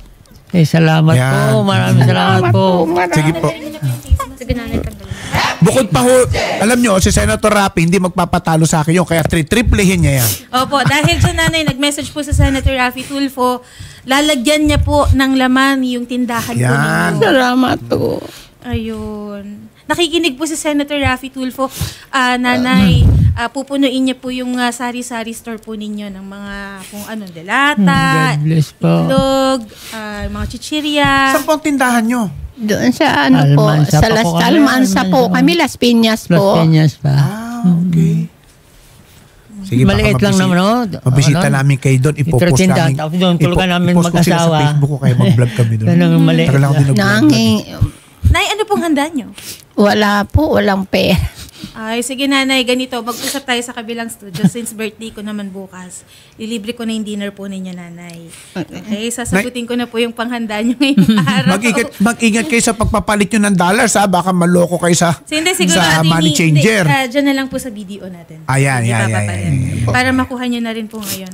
Nanay, tatay, sige po, since si Senator Rafi, ah, handaan niyo na po yung sari-sari store po ninyo. Lilibre ko na po kayo ng dinner po ninyo ngayon. Since magde-dinner din kami ngayon, isasama ko na po kayo, nani and tatay, sa dinner po. Gusto po mag- makapagpalitrato. Ah, oh, sure, nanay. Picture po. Later, nanay. After po ng ah, show. Pero, nanay, nanonood po kasi ngayon si Senator Ah, Rafi Tulfo. Meron po ba kayong message kay Senator na? Ayan, yan, yan, yan. Sige po. Mm, Ayan. Ayan. Senator Idol Rapitol po, marami pong salamat sa binigay, sa blessings na binigay nyo sa amin.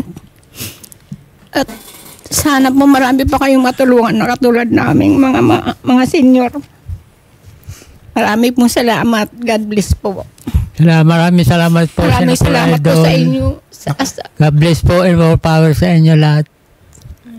Mm, Lalong lalo. Sino, sino po ang kasama niyo sa bahay, nanay, tatay? yung anak ko na ano, pero meron kaming higaan dun sa may Kwarto, tindahan yung na. tindahan. Sa amin doon lang kami natutulog. din. Sa tindahan niyo din po mismo. Mm, maliit Oh, lang naman. gusto- hindi, may- Halos ma- ganun lang. manawagan ako siya Riha, sa mga mga ka, kaba- kalugar o kapitbahay nila tatay at nanay. Doon ho kayo bumili sa tindahan nila ha.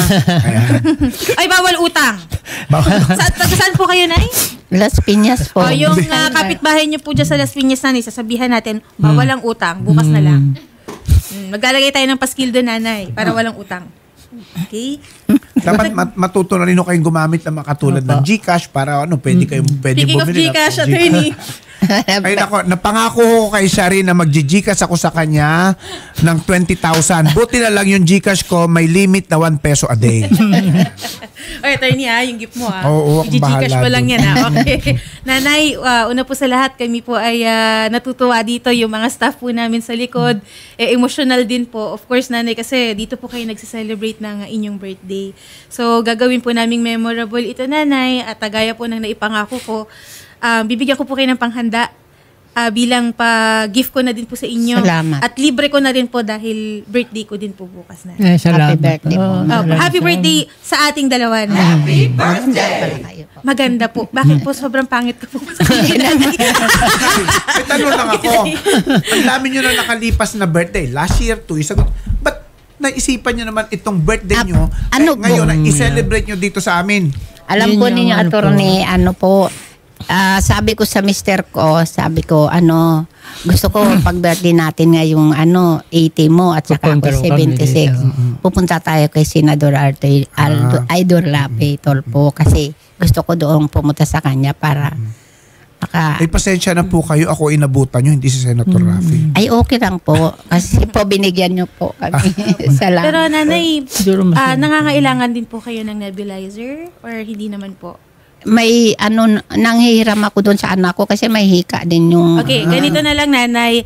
Bibigyan ko po kayo ng nebulizer. Wow, thank you po. Marami pong salamat. Alam ko po kasi kung gaano po kahirap din po yung may hika. Opo, At talaga. ako po ay may hika din po. Kaya bibigyan ko na po kayo ng nebulizer. Ako na po, sarili ko na pong pera yan, nanay. Okay po. maraming Bilang, salamat. bilang pa-birthday ko na din po. Ayokong umiyak kasi birthday ko bukas.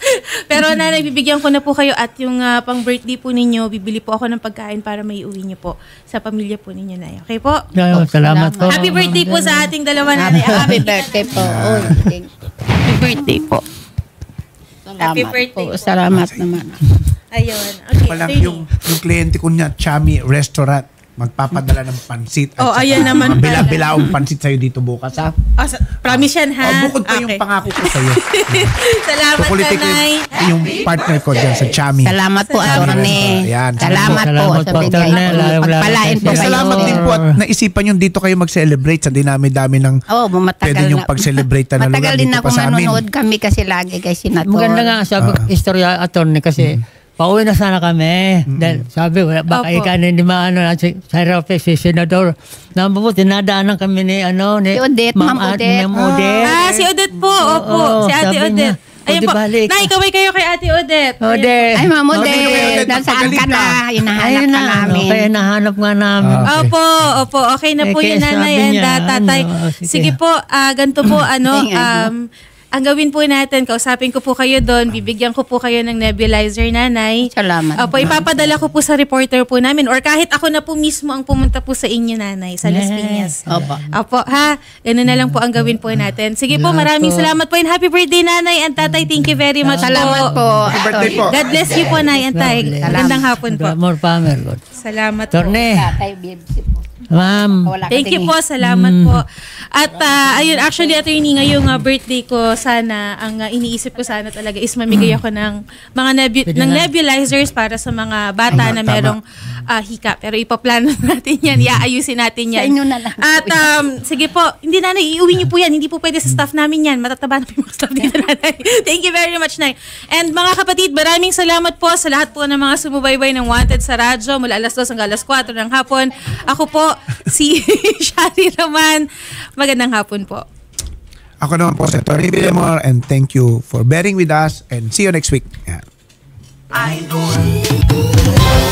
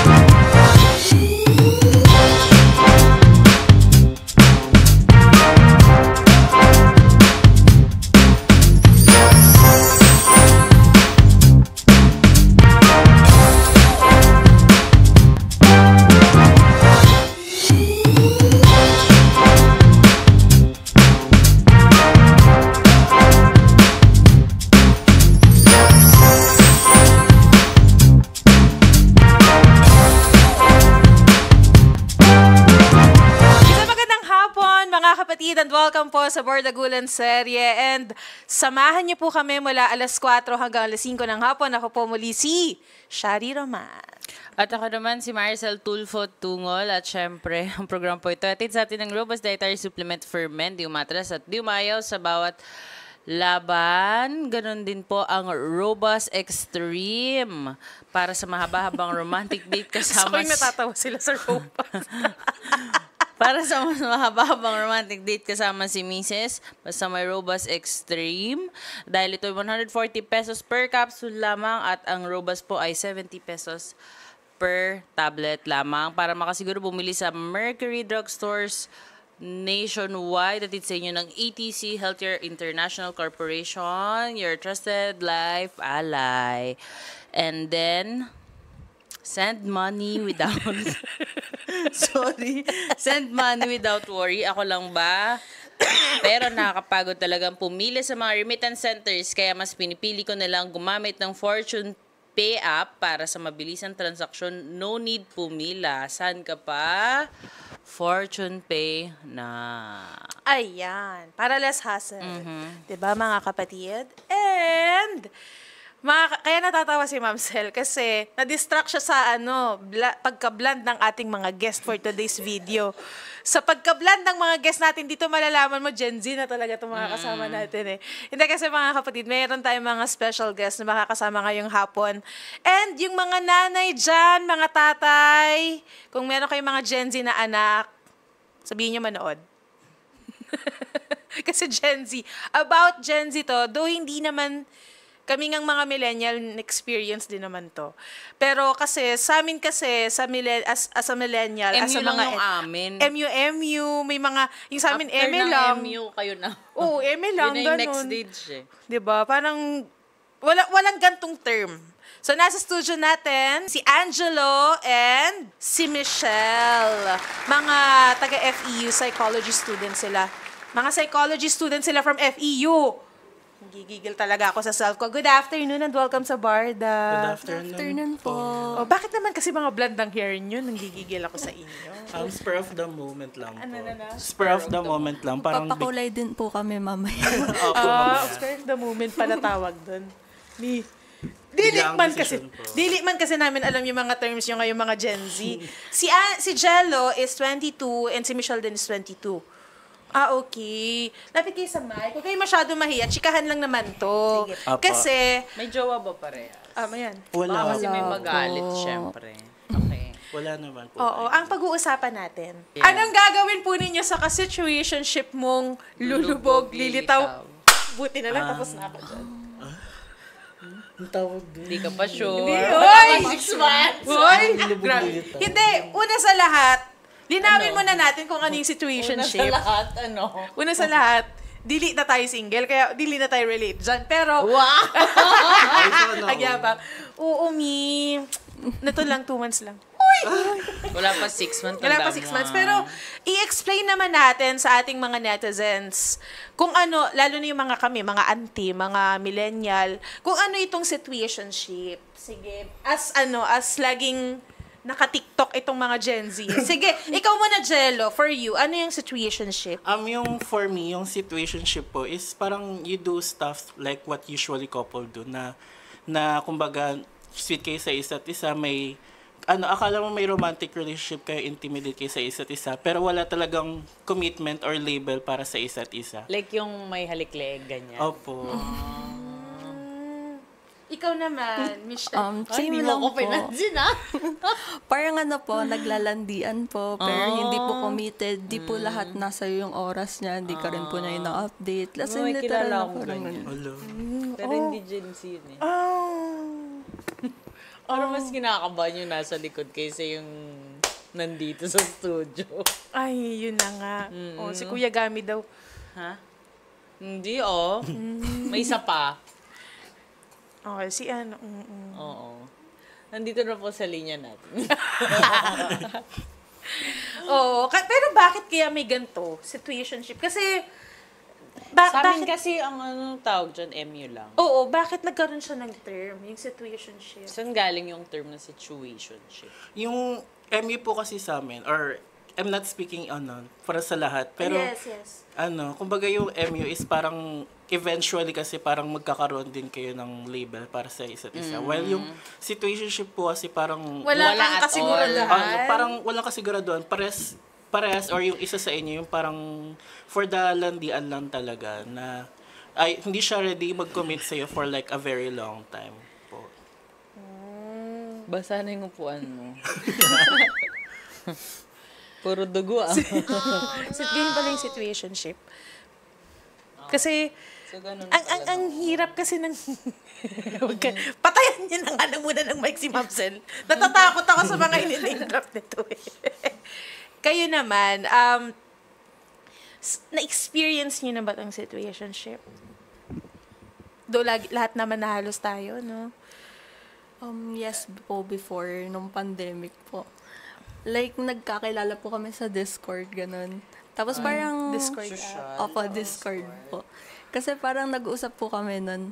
Tapos parang, ayun, um, constant landian. Mm. Tapos sabihin na parang, yung parang magjowa kayo, pero kapag sinabi mong gusto mo ba ako, tapos parang maging tayo na mamaya, ganun, sabihin niya, hindi.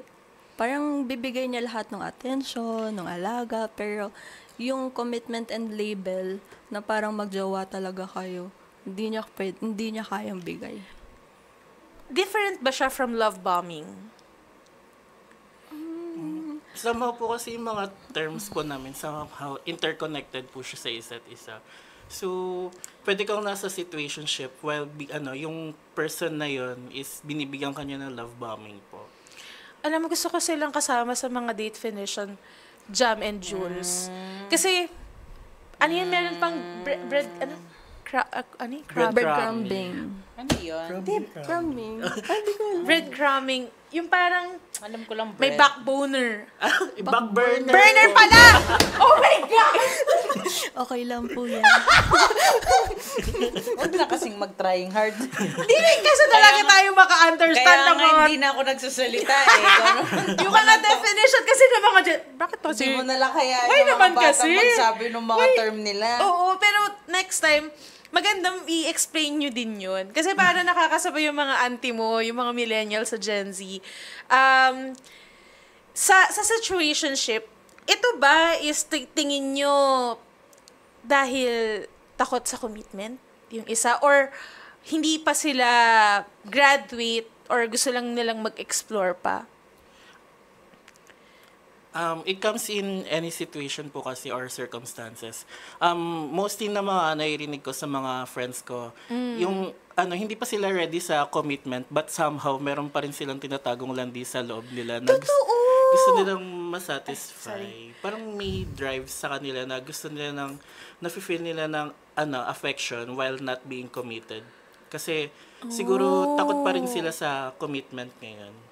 O parang ang gusto lang nila is may nakakausap, Opo. may na may nag-a-update. may nag-a-update. Tapos, um, pinag-e-effortan. Pero ayaw ng label. Opo, ganun. Oo. Di ba? Ang label po kasi ano eh, parang ano, it parang pag may label ka, parang binibigyan ka ng, hindi ko naman sinasabing kulungan, pero parang kulungan na pag may label na, doon ka na talaga sa person na yan. Well, kasi yung iba sa mga, sa generation namin, kumbaga parang, ano, ang gusto lang nila is hindi sila mabakante po. Ah, at least nanggaling sa kanila yan, ha? Opo. Na may, may mga ganong instances talaga na ayaw nila na gusto nila, ayaw nila mag-stick sa isa. Opo. Ang gusto nila, i-explore nila to, and then, i-explore pa nila ito. Opo. Ayan yung mga term!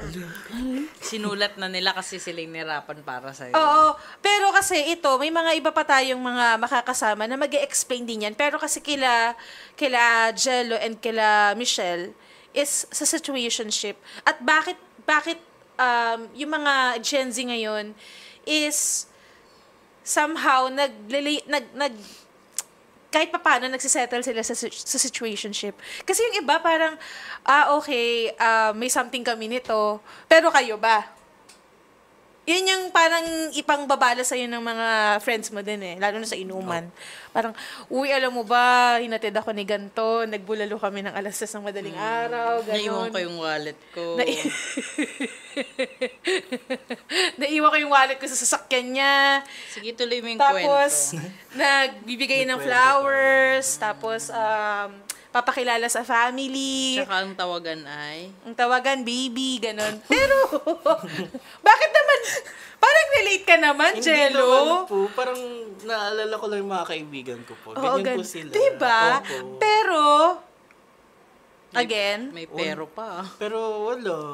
Wala naman talagang ano, paniguraduhan. Oh, tsaka na Walang kayo. Oh, tsaka nakakainis dyan kapag situationship. Yung, ang dami-daming, ang dami, ang daming beses mong nagsiselos pero wala kang magawa. Opo, kasi wala po kayong right para So, mag-selos ikaw that yun. time. Hindi, hindi, yung friend niya. Friend ni Jello yun, di ba? So parang, kahit anong, kahit makita mo na nagfe-flex siya ng mga ibang babae sa story, wala kang magawa eh. Kasi, dili man kayo, di ba? Opo. Pero ang hirap nun kasi parang syempre nag-invest kayo ng, ng time. Opo. Ano ba ba yung ginagawa ng situationship? Ano, pretty much everything na ginagawa rin ng mga couple. But without the label po talaga. Yun lang talaga. Opo. Basta pag ano situationship po, usually po wala po silang right magalit. Tapos alam mo po yun na parang dapat ako lang, ganun. Wala po silang right sa lahat. Ano ba yung mga pros and cons ng ng situationship? Tama na! Nanggigigil ako sa mga tao sa likod. Ano ba yung mga pros and cons? I think yung pros po is like, ikaw po, pwede ka pa rin po magka-self-time, tapos pwede nyo pong hindi siya kausapin for now. Tapos, I think cons po is more on dun sa taong gusto na po ng label and maging next level na po.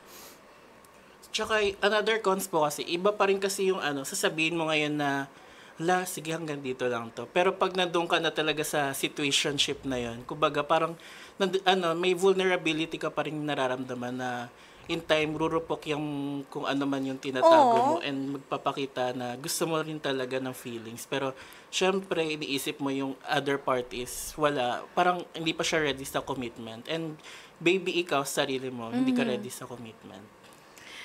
Kasi, yung, yung, yung, yung partner ko ngayon, wala nang ganun eh, yung mga situationship. Wala nang ganun. Kapag gusto ka niya, gusto ka niya na talaga. Yung, nahirapan din ako dyan. Of course, bago ako dumating sa sitwasyon na ganito, yan yung, ano, yung bibigyan ka ng maraming mixed signals. Yun po. Tama ba yung term ko? Di ba? Yes. Mixed signals. Yung ipaparamdam sa'yo, talaga sa'yo na sobrang okay ka. Tapos, nag kumbaga, lagi kayong magkausap, lagi kayong, ano, nagpupuyatan. Pero wala eh. Ano pa ba yung mga signs na na mixed signals na ibinibigay siya, sa'yo ng... Kasi, pwede ko ba sabihin yan? Kunyari, nag-uusap lang kami.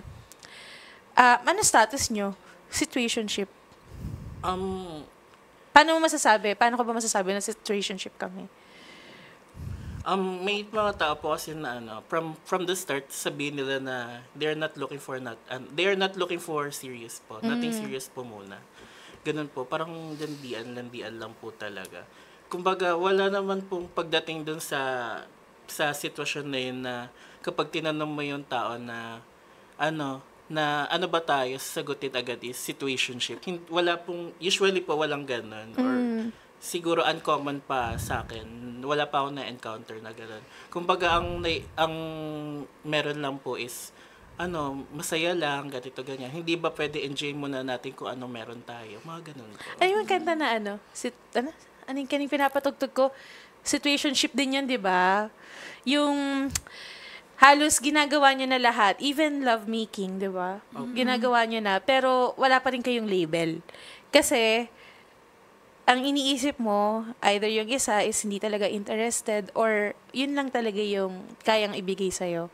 Which is, papasok din dito yung friends with benefits. Opo. So, parang ganun.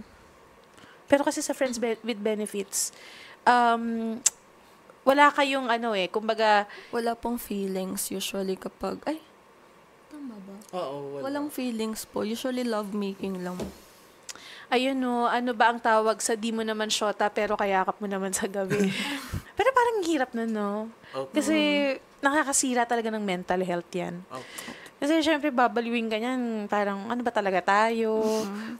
Tapos doon niya po ma-overthink kung hindi po ba ako enough, kaya hindi po ako binigyan ng label with them. Mm. Ganun. Pero kayo, paano kayo nag-filter ngayon ng, let, let's say, as a Gen Z, ikaw, Michelle, paano ka nag-filter ng mga taong gusto ka or gusto kang i-pursue? Um, paano pong filter? Kasi may, may mga ilan, di ba, na may tinatawag sila na gustuhin ka pero hindi ka talaga pinopursue. Alam mo yun, parang... gusto ka lang niya. Oo, papahapyawan Pero ka hindi lang. niya liligawan. Wala lang, gusto ka lang niya in general. Um, usually po, kung wari po, nalaman ko po na um, gusto niya po ako, pero hindi niya po ako kayo pursue. Gusto ko lang pong friends po kami kasi I don't like situationship po. Feeling ko po kasi hindi ko po deserve na maging situationship lang po ako. Feeling ko Mhm. po kasi ano, in a relationship po talaga ako kasi sasayangin ko po yung oras if nagstay pa po ako dun sa taong hindi naman kaya bigay sa akin yung commitment na gusto ko. So, paano ka nag ekis ng um, mga ganyan? Um, Paano ka nag-filter? Oo. Paano ko filter? Siguro po, kung wari, napag-usapan naman po namin na kung wari, ako gusto ko siya, tapos siya gusto niya rin ako. Tapos tatanungin ko po kung ano po yung plans niya sa magiging relationship Hmm. namin ahead.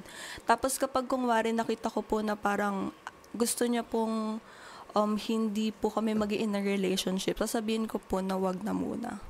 Now, siguro po kapag may feelings pa rin po ako, balikan niya na lang po ako kapag ready siya. Pero kapag wala na pong feelings, edi wala na po. Oh. Ikaw ba? Tapos ano? Pakatanda mo, host ako dito. Tawagan ko. Oh! Ikaw naman talaga. Naman nang mahal na mahal kita eh. Oh, tuloy, tuloy na. Dito na. Tul- Diyan lang yung tuloy kamay na. mo. Diyan lang ha. Wag na Tuloy magtawag-tawag. Ikaw Tuloy naman. na yung interview. Wag na magtawag-tawag. O, dyan lang. O, mahirap kasi ngayon eh. Oo naman. Hindi pa nabuti na lang. After two years. Dinosaur. After two years. Di ba? Ano? Win-off gang with family as friends. Ang mahal nun. oh, ha? Mahal, mahal. Oo, win-off gang with family. Kasi minsan din siyang minahal. Hindi naman ako minahal nun. Pero hindi tinuloy. hindi naman ako minahal nun. Hindi mo sure. Mm. May mga alam ako na hindi mo alam. Pero di ba sabi mo ano na, ay boyfriend ka na. So, hindi ko nasasabihin. Kasi nag-message pa kagahapon ni. Nagigigil talaga ako eh. Ano sabi? Wala, sabi niya lang, baby, ganun. Oo!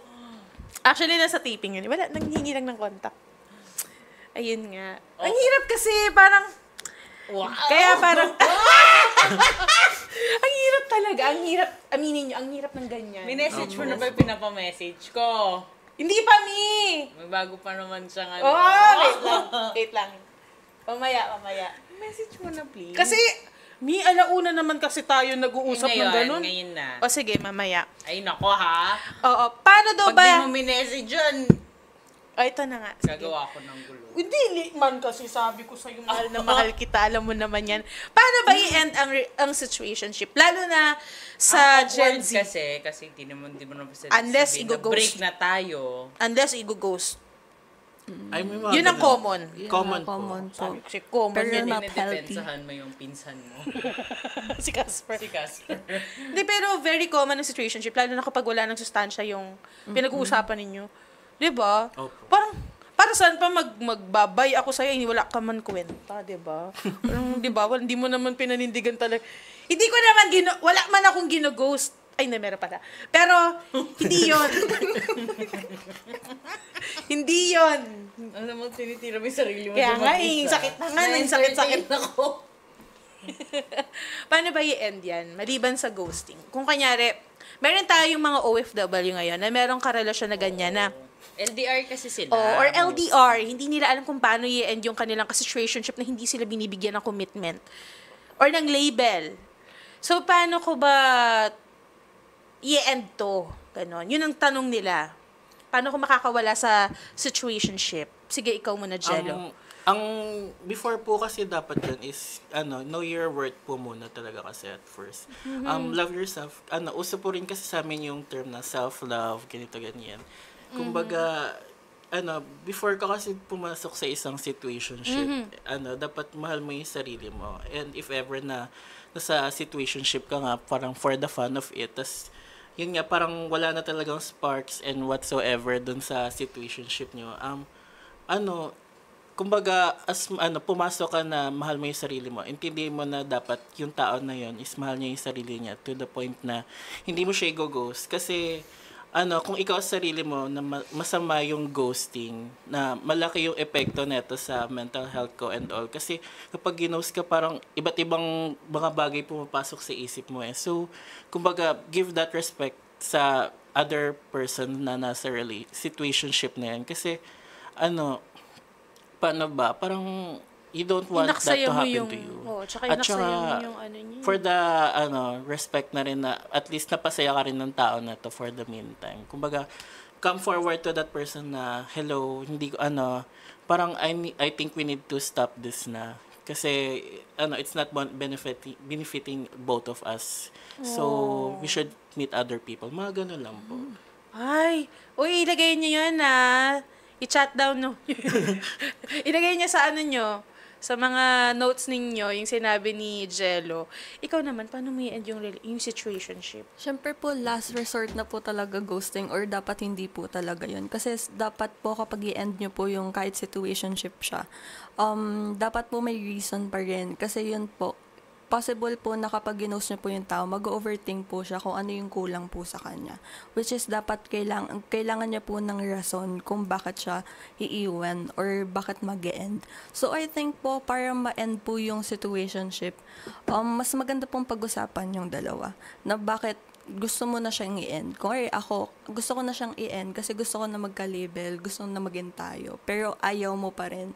Parang ayaw ko na magstay for now since ikaw gusto mo pa rin na situationship. Lalo na po kapag tumagal po yung situationship for years.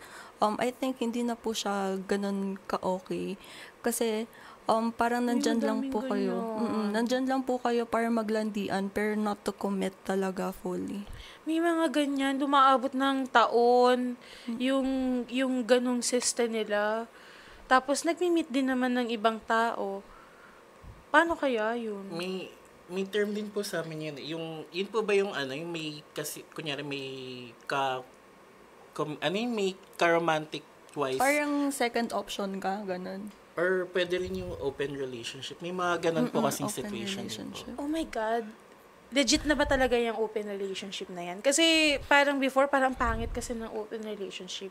Um, kung ano, magiging pangit naman po siya kasi kung yung isang tao na nasa kasi situation na yun is hindi siya agree while yung isa is open siya talaga sa open relationship. Mahalaga po na pag-usapan. Paano siya nag-work? Yung Yung, yung, yung open relationship. Um, wala po kasi masyado knowledge about it. Pero ang alam ko lang po talaga is dapat agree lahat ng nandun sa relationship na si, ito, may iba siya. Tapos okay lang si yung meron siya, yung Wait lang. kapartner niya. So, kunyari si legit, si legal girlfriend. Actually, girlfriend. kapag open relationship po, wala pong legal talaga. Oh, parang kumbaga, kayo, lahat jowa kayo po girlfriend. na. Tapos dapat po, mas maganda po kapag open relationship. Lahat po ng girlfriend mo, alam po nila na nasa open relationship ka para hindi po masyadong magkaroon ng problem. Pero pwede kong sabihin na open, boyfriend ko to, pero naka-open relationship kami. Ganon. Depende po kung kaya mo naman i-open din sa iba. Mm-mm. Okay lang naman po. Mas okay na po din i-open, I think. Kasi baka kala po nila kabit po yung isang O kasi baka mamaya, oo, uy, relationship. pero kasi, girl, nakita ko tong si kuya mo, may ibang Mm-mm. kasama. Ah, oo, pero naka-open relationship kami. Hala, hindi yun pwede sa akin. Ah, Hindi naman po kasi siya ano, widely accepted. Kasi Mm. iisipin talaga na ba, ay kabit, ay kabit. Yun, Mm. Which is very controversial din talaga siya. Hmm. Nakakaloka talaga yung mga terms talaga ng Gen Z ngayon. True. Sa situationship naman, um, romantikong aspeto pero walang eksklusibong label. or malinaw na definition ng kanilang ugnayan. Kumbaga, walang assurance or katiyakan. Oo, yun yung mahirap. Wala kayong assurance. So, parang ang nangyayari doon, parang nag-aaksaya lang kayo ng time. Mm-mm, yes po. Nag-aaksaya kayo ng time, tapos ah, habang ikaw, nag-aaksaya ka na nga ng time, nag invest ka pa ng feelings dun sa tao. Parang, lalong-lalo lang na, lalo ka lang na-fall, lalo mo lang naiisip, or lalo ka lang nasasanay. Ang hirap kasi niyan eh, yung nasanay kayo sa ganong routine, na pagising mo sa umaga, message mo, message niya yung nakikita mo, matutulog ka sa gabi, message niya rin yung nakikita mo, diba? Tapos hanggang sa mawawala, mahihirapan ka din. So, kailangan, umpisa pa lang, i-end na. Opo. Diba? Ano yung mga kwento ng mga friends niyo about situationship? Magbigay kayo ng example. Parang kwento ba? Wala ba ko nanonood? Meron po sa kanila. Hindi, di naman natin papangalanan. Ah. Sige, go. Hindi ko naman- walang thrill. Bakit may blind item? Ba- may blind item. Sige, letter ganto. Ano ba siya? Actually. Ah. Ano, kaya na lang sa best friend ko ano na Ah. siya. Hindi naman siya labeled as situationship. Pero parang from that situation itself, ganun na nga. Yun ang iyari. Kumbaga, ano, parang nothing serious kasi yung hanap niya. Tapos nothing serious din yung hanap nung other party. Pero parang, kumbaga, with all that feelings na involved, na, na, na-experience niya dun sa situation na yan, kumbaga, nako-confuse din, nako-confuse siya sa nararamdaman niya towards that person. Kasi nga, wala naman magandang naidudulot ang situationship. Ikaw naman, Michelle. Wait lang po, nag-isip po ako ng friend na may situationship. oh, pero ikaw wala ka bang ano? Na, or naka-situationship?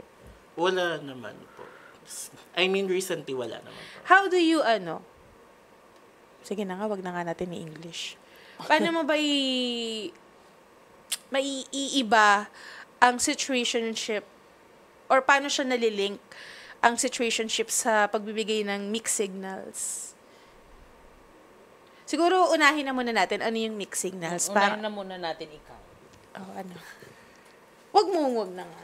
Ikaw naman Sige, talaga. mga bata na. Anong, ano ba ang mixed signals? Para sa mga Gen Z. I think yun po yung parang ngayon, bibigyan ka po niya ng so much attention, tapos mamaya di ka na na po siya niya re-replyan. Okay. Tapos mamaya re-replyan ka na naman po ulit niya. Parang um, bigla na lang pong mawawala yung binibigay niyang constant love or care, tapos Mhm. biglang biglang mawawala tapos biglang babalik. Parang something ganun. Tapos to the point na iisipin niyo po na parang, gusto ba talaga ako nito? Ganun. Eh, paano ko kunyari, gusto mo siyang i-confront na let's end this na, ganun, ganun. Parang siguro baba, babanatan ka niya na, bakit? Ano ba meron tayo? Hindi naman, parang ganun. Kasi yung iba, kaya rin siguro takot sa, takot sila na, in, let's say, magpaalam or i-ghost na lang nila. Kasi hindi rin naman nila alam kung anong meron sa kanila. So, parang, ang gagawin na lang nila, ba't ako magbababay sa'yo? Hindi ko nga alam kung ano yung label natin or ano ba yung ano ba yung status natin. So, mas prefer ko na lang na tumahimik na lang. Hmm, I think regardless naman po kung ano po yung meron sa inyo, dapat magpapaalam ka po talaga kung i-end nyo po yung relationship. Kahit po wala kayong dalawa, um, sabihin na lang po natin na um, acquaintance po kayo. Siyempre, kailangan nyo pa rin po magpaalam na aalis kayo. Kasi nag, you used to be together pa rin kasi Mhm. kahit wala kayong um, label. Mhm. So, yun. Ano naman kapag kunyari sa sa tawag dito sa kunyari may mga ka-LDR, yung mga nami-meet lang nila sa online, anong opinion nyo about it? Yung mga nami-meet lang sa Facebook, sa ganto. Mm, depende pa rin naman po sa situation. Pero may mga LDR kasi na parang very serious naman talaga yung intention nila sa isa't isa. And what counts naman po talaga is yung yung intentions mo. Kumbaga, ano, in my opinion, regardless kung long distance kayo or malapitan kayo nagkakilala, nagkakilala kayo sa friends, nagkakilala kayo sa online dating, it's okay po. Um, basta malino yung intention niyo sa isa't isa. Kasi kung yung long distance relationship na yan, baka yan talaga yung taong para sa'yo. So, Oo. so as someone na wala dun sa situationship na yun, na hindi ko alam kung ano yung nangyari sa inyo yung dalawa, who am I to judge? Oh, who am I to judge? Naging English lang tayo ng ano, jello. jello. diba? Kasi yung iba natin, um, hindi, hindi talaga sila nagkikita. Opo. Oo, tapos hindi sila nagkikita and then nagsisettle lang sila sa ganun. True. Oo, na na magkausap lang palagi. Pero LDR sila. 'Di ba? May mga ibang ganun na nahihirapan din. Ano ba yung mga ibang questions ng netizens natin diyan? Ayan. So, naniniwala ka ba sa kasabihang single by choice? Mm, yes po. Lalo na kapag feeling nyo po magiging masaya kayo without even being in a relationship. Lalo na kung wari iniisip nyo po na kaysa magkaroon po kayo ng jowa, yung career nyo po ahead or di kaya akads nyo po. Okay lang po and masaya po kayo na friends lang po yung kasama nyo Mm. without the jowa po. Mhm. Ikaw naman, Jed. Um, single by choice kasi is, ano, parang na-enjoy mo lahat regardless, ay ano, na-enjoy mo lahat na wala kang iniisip na na mag-aalala sa'yo. Kumbaga, free Strong ka- and independent. Opo. Mhm. Ano, free ka makipag-friend sa iba't ibang tao na walang, wala kang jowa na parang nag sabihin na, uy, wag ka, wag ka makipagkaibigan nito kasi feel ko iba yung tingin niya sa'yo. Parang wala kang whenever ibang tao. Pero, tsaka, ano, kumbaga, yun nga, you have your time in the world.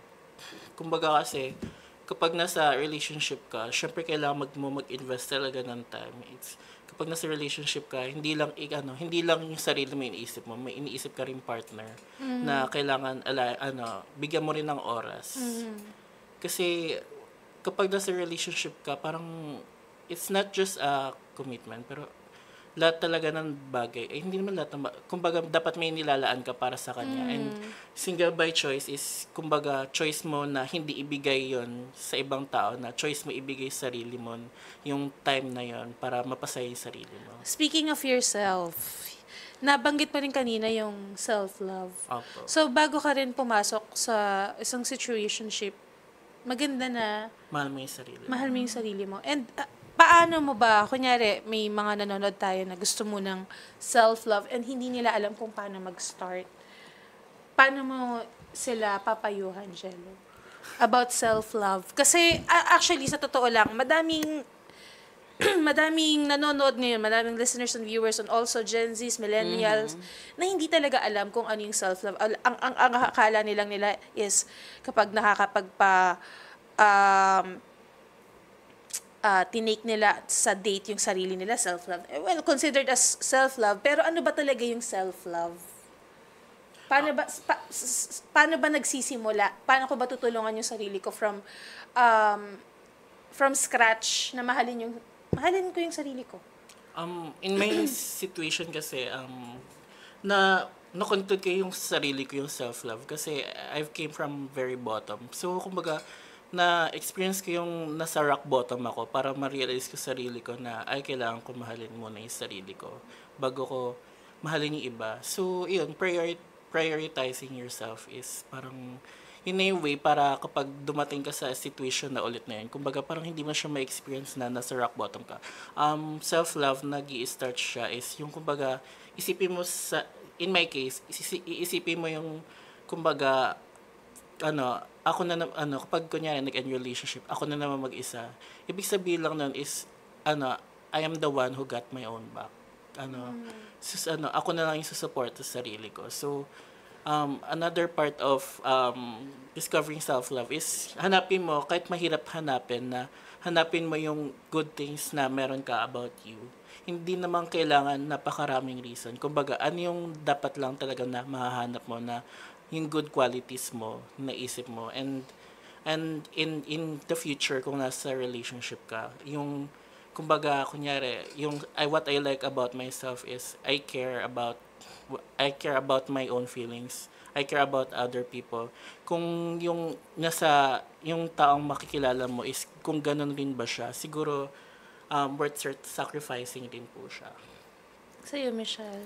Um, I think yung first step po talaga ng self-love is knowing your worth talaga. Kasi syempre, kapag po nasa in a relationship po kayo, tapos um, w- wala po kayong pagmamahal sa sarili, possible po na lahat hanggang maubos ko ibibigay niyo po sa kanya. Without knowing na, ah, deserve ko pala to, deserve ko. Kasi masyado mong iniisip na, deserve niya to, and hindi nyo na po napapriority yung mismong sarili nyo. Tapos minsan po, kung wari, wala po siya sa tabi nyo, possible po na iisipin nyo na parang hindi po kayo masaya, tapos na masyado po kayo nagikling sa kanya. I think self-love po is something na parang, um, kahit po nandyan siya or wala siya, um, you can enjoy being yourself lang. Na parang, okay lang kung nandyan siya or wala. As long as um, mahal ko yung sarili ko and kaya ko bigay lahat ng um, something para maging masaya ako. Ayun po yung self-love. Uy, maganda yung sinabi mo na parang with or without that person, kaya mong maging masaya. Kumbaga, kumpleto ka pa din. Dapat naman ganun. Oo, bago ka hindi ka talaga nagkikling. pumasok sa relationship. Oo, and hindi ka naglolonging sa company na, na kapag, kapag kunyari umalis siya, or nag, naging LDR kayo, or bi, naging busy lang kayo, um, busy kayo na inaasikaso niya yung mga sarili ninyo. And okay lang yun. Okay Yeah, lang. okay diba? lang May mga iba kasi na uh, kahit nasa trabaho, ano bang ginagawa mo? Hindi ka nagre-reply. Parang yung happiness niya is nakadepende dun sa tao. And is it okay ba na taasan yung standards natin? Or sobrang sobrang selfish nun? Hindi naman po. Siyempre, ano, kapag mataas yung standards mo, ibig sabihin lang nun is, alam mo yung sarili mo, alam mo yung halaga mo. Yes. Rather than just settling for less. Mhm. Siyempre, kailangan taasan mo rin yung standards mo. Mhm. And if kung may mama kilala ka and hindi ano up dun sa standards mo and it's okay hindi mo naman kailangan i-please yung taong yun yung kuma- ang kailangan mo lang i-please yung sarili mo Ano ba ang standards ng isang jello? Sige na, share mo naman yung Oo standards nga. mo. Anong standards mo? ano may pang ano simple lang naman po yung standards ko kumbaga may pangarap po sa buhay Oy! Ay, ito. Hot topic kasi ito. Dapat ba financially stable? Ngayong sa mga Gen Z, dapat ba financially stable before you date the person? Like, is it important para sa inyo na financially stable yung nanliligaw or yung dinidate nyo? Um, I think po kapag student po, ano, hindi po need na financially stable since nag-aaral pa lang po kayo. Pero I think po kapag kung wari may work na po kayo, um, lalo na po kapag nagkakilala po kayo ng um, working na po kayo parehas, I think standard po talaga dapat na financially stable siya. Kasi parehas po kayong nag strive. Pero not to the point naman po siguro na um, masyado ka pong nagli-lean on na financially stable siya. To the point na ikaw, yourself, is not financially stable din. Dapat both po kayong financially stable, I think. Mhm. Ikaw, Jello. Same lang din po sa sinabi niya. Kumbaga, mahalaga, ano, kapag nasa situation ka kasi, ay, situations to. Kapag nasa relationship ka po kasi, um, syempre, nandun po yung mga dates. Syempre, magastos po yan. And, ano, hindi naman po kasi katulad ng before na yung, kunyari, yung lalaki yung gagastos. Syempre, parang, ngayon may mga situation na parang both party yung naghahati sa gastusin kapag nagde-date ka. So, mahalaga lang na financially stable ka. And, kunyari, since norm ano nine-normalize na rin yung kumbaga parang pares kayong gumagastos sa date. Kumbaga pag gumastos kayo sa date, hindi kayong nauubusan din para sa sarili mo. Yun yung stand ko when it comes to dapat financially stable. It should be give and take. True. Kunyari, um, hindi naman lahat dapat nakadepende sa lalaki. Oo. May nakikita lang ako ng mga videos na nagagalit yung mga babae pag, pag kahit, o ikaw naman, ikaw naman gumastos or ikaw naman ang mag-date mo naman ako, ikaw naman ang mag-date sa akin. May mga babae na nagagalit. Ayaw nila na pinapagastos sila. So, dapat daw lalaki. Responsibilidad daw ng lalaki. Ah, I think po ano, may mga ganun po. Siguro yung usually may mga ganun kapag nililigawan yung babae. Pag nililigawan, I think. Pero, kapag kayo na. Pag nasa relationship, ano, siguro less change that ano mentality na dapat lalaki lang gumagastos. Mhm. Um, syempre mahal mo rin naman yung taong, yung lalaking yun. So dapat ano, isipan mo rin na ayaw mo siya nahihirapan. Mm. Kumbaga, hindi naman, hindi ikaw yung sun or hindi ikaw yung mundo, ay hindi lang ikaw yung tao sa mundo, sa universe niya. Hindi lang ikaw yung planeta sa universe niya. Marami siyang dapat laanan din ng oras. So, kumbaga, ano, pa, ano yun, pagaanin mo naman yung situation na yan para sa kanya. Like, ano, come in the middle. Oo, tsaka, syempre, um, ligawan pa lang kayo, partner pa lang kayo, paano kung kasal na kayo? Of course, may mga pagbabudget-budget na yan, di ba? So, so, as early as, yun dating, kailangan give and take na. Yeah. Hindi It's a pwedeng- relationship naman po kasi. Dalawang tao po kayo Mm. nandun. Hindi dapat siya lang po lang langgan. Oo. Ay, unless, syempre, mapag-uusapan. Kunyari, um, kahit naman, kunyari, sa mga married couples na natin dyan, um, si Mister magtatrabaho. So, magpo-provide siya. Siya ang provider. Si Mrs. as, as um, role mo is ikaw ang bahala sa lahat. Pag uwi ko, maaalagaan yung mga anak natin. May mga ganun mga pag-uusap, di ba?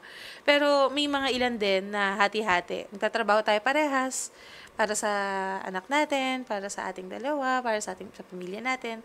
So, dun pa lang makikita mo, dun ka pa lang babase ka pa lang kung ano yung partner na ma, na makakasama mo, 'di ba? Dun pa lang sa dating stage. Mm, ayan. And ano pa yung isang question natin? Insurance. Oh, dapat daw may insurance. Gusto mo yun. Dapat daw may insurance yung partner mo kung gusto mo ng financially stable. And tingin niyo ba nakakatulong itong uh, di, uh, situationship bilang eye-opener kapag papasok ka sa isang relationship? Mm, eye-opener as in yung kumbaga parang trial, ganun po ba yun? Siguro. mm Kasi dun mo, sa bagay, dun mo kasi malalaman eh. Mm-mm. 'Di ba? Kung pasok itong lalaki na to or yung girl na to para i-push sa relationship. Mm, ano, kasi may mga may mga situation din na yung mga situationship na eventually nagkakaroon sila ng relationship talaga. Siguro yung kumbaga yung situationship na yan, pwede rin siya na maging eye-opener or ma-realize mo sarili mo na ito na ba ito yung tao na gusto ko na maging jowa or girlfriend boyfriend. Siguro oo, na eye-opener siya in a way kasi in that situationship nakikilala mo pa rin yung tao eh. So, kung kunyari sa situationship na nakita mo yung qualities na na for you is pasok sa standards mo and and you are ready to take a risk for that and edi you go tell that person na na you want to be in a relationship talaga pero syempre mahalaga pa rin kung ano insight ng isang tao Mm. Tsaka, of course, yung mga Gen Z natin, hindi lang naman Gen Z. Um, kapag, kapag situationship, wag, na kayo, wag muna kayong mag-assume. Yung kumbaga, dun nyo palang tinetest yung yung water, di ba? Doon nyo palang itetest yung water. Titignan nyo dun sa situationship na yan, yung so-called situationship na yan, kung, ah, ganito pala siya. Ah, so ganito pala yung ayaw niya sa gusto niya. So, ah, okay. So, pwede pala to. Mukhang magbo-work naman. Mukhang interesado din siya. Pero, paano mo ba ma- malalaman kung nagbibigay lang, kung pinapaasa ka lang niya sa situationship na yan?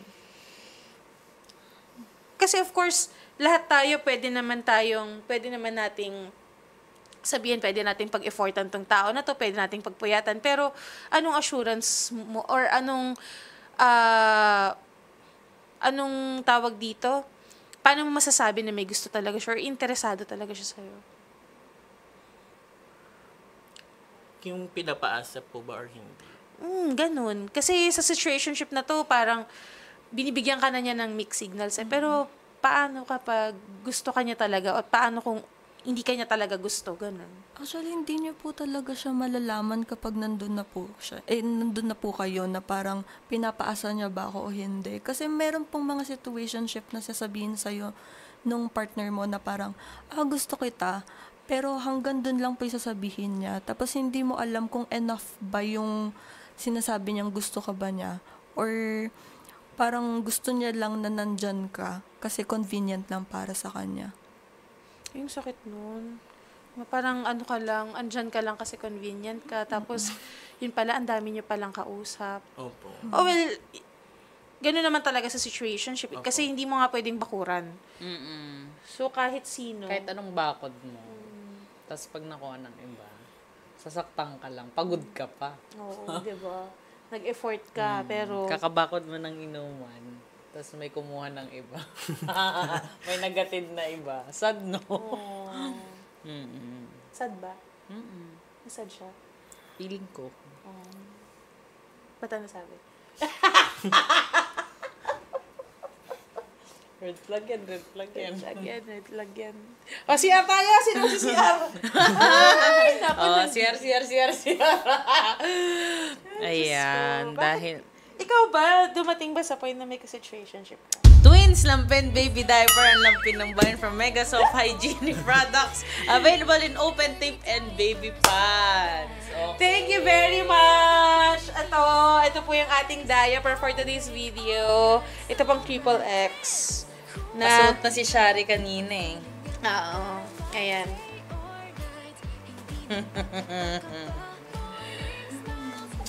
At least na Wolfgang. Ikaw ba ilan? Alin? Situationship. Yun lang. Yung matindi-tindi. Yun lang. Two years din yun, mama. Buti na lang, maga ako nag-asawa talaga. Mm, two years din yun. Hindi naman. Pero ano, yung, yung, yun kasi talagang naging crush ko talaga siya. As in, ayun, alam mo naman yun, Mi? Tingnan mo, inano ko pa yung, yung field work ko na sinakto ko pa doon sa kung kailan silang nag-out of town ng pamilya niya. Para kasama ko siya at yung pamilya niya. Ay, nako. Sisters! wala, wala. Wala, wala, wala, wala. Pero yun. Walang pangsagip ng ng luha natin. Pero masakit yan ah. Minsan mas, mas masakit pa yung breakup ng situationship kaysa sa ano eh. Hindi, ang in-advise ko nga sa mga nagsi-situationship, yan okay lang sabay-sabay. Oo. Kasi wala naman kayong commitment. So wala kayong naapakan. Technically. Mhm. Kung may nasasaktan man kayo, hindi nyo kasalanan yun kasi hindi naman kayo committed. So Mhm. feeling ko okay lang na madami. Kasi kaysa nakafocus ka sa isa, hindi ka naman sure. Kung Mhm. insurance-wise ah, Mhm. Diyan napapasok yung ano, collect and collect. Then, you select. Di kung, kunyari, dalawa sa sampu yung gusto mag-commit sa'yo, o di, kung sino mas gusto mo doon sa dalawa, Mm. doon ka na mag-focus. Then, yun yung dapat isa na lang. Pag, kunyari, nakapili ka na na, ah, ito na lang. Kasi mas gusto ko talaga to. Yun, hindi na pwede sabay-sabay. Pero, pag situationship lang, pwede siguro sabay-sabay. Oo, ay, padalan mo ba naman ng sinigang? Oo. Ay, hindi naman. Pag situationship, hindi ako masyado nag-e-effort. Pag-grab ba Sila naman? dapat ang mag-e-effort. Oo. Napagrab mo ng ano, kasi malamig yung panahon, tapos nagbabadminton kasi siya. Kaya. Mm, hindi Ah, kasi gutom ako ka ba? pwede Sige. magsabi ng ganyan eh. Mm. Gutom ka ba? Sige, Nang padalan kita. masyadong, ano, in detail. Oo.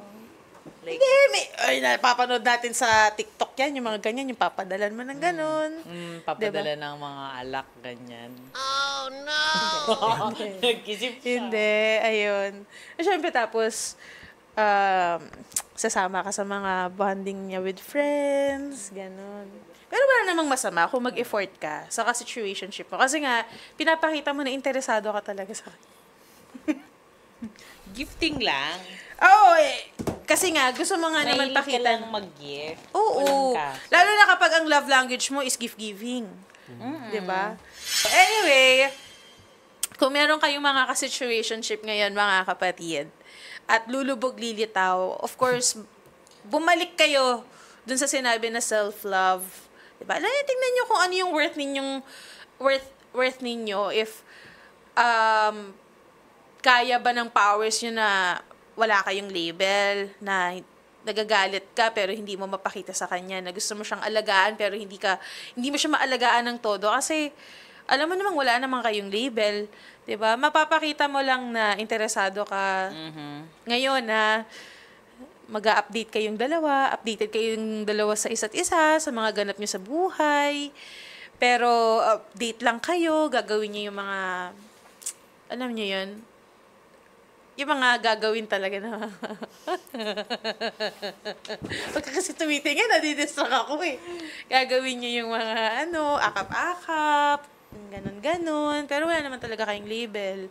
Todo, may, may mga bakod-bakod lang, bakod serye lang, ganon. Pero, hindi, mo na, hindi ka naman talaga paninindigan. Ayun.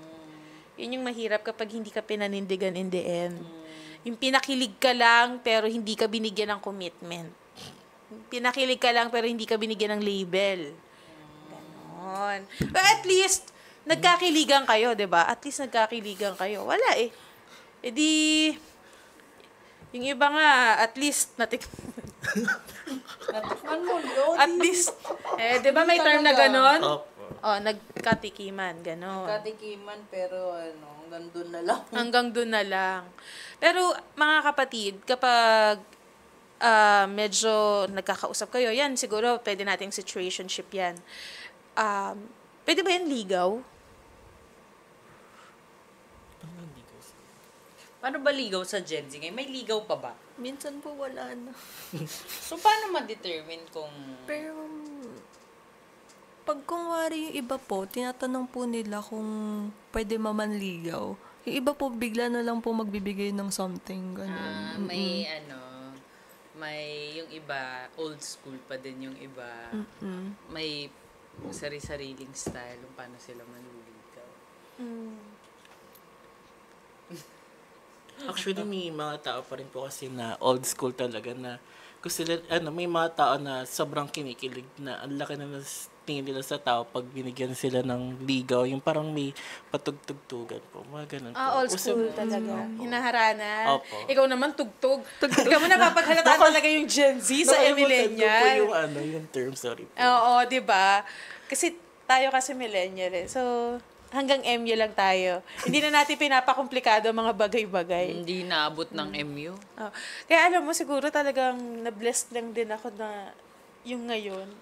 Wala, pag gusto kita, gusto kita, papurso kita, papurso kita.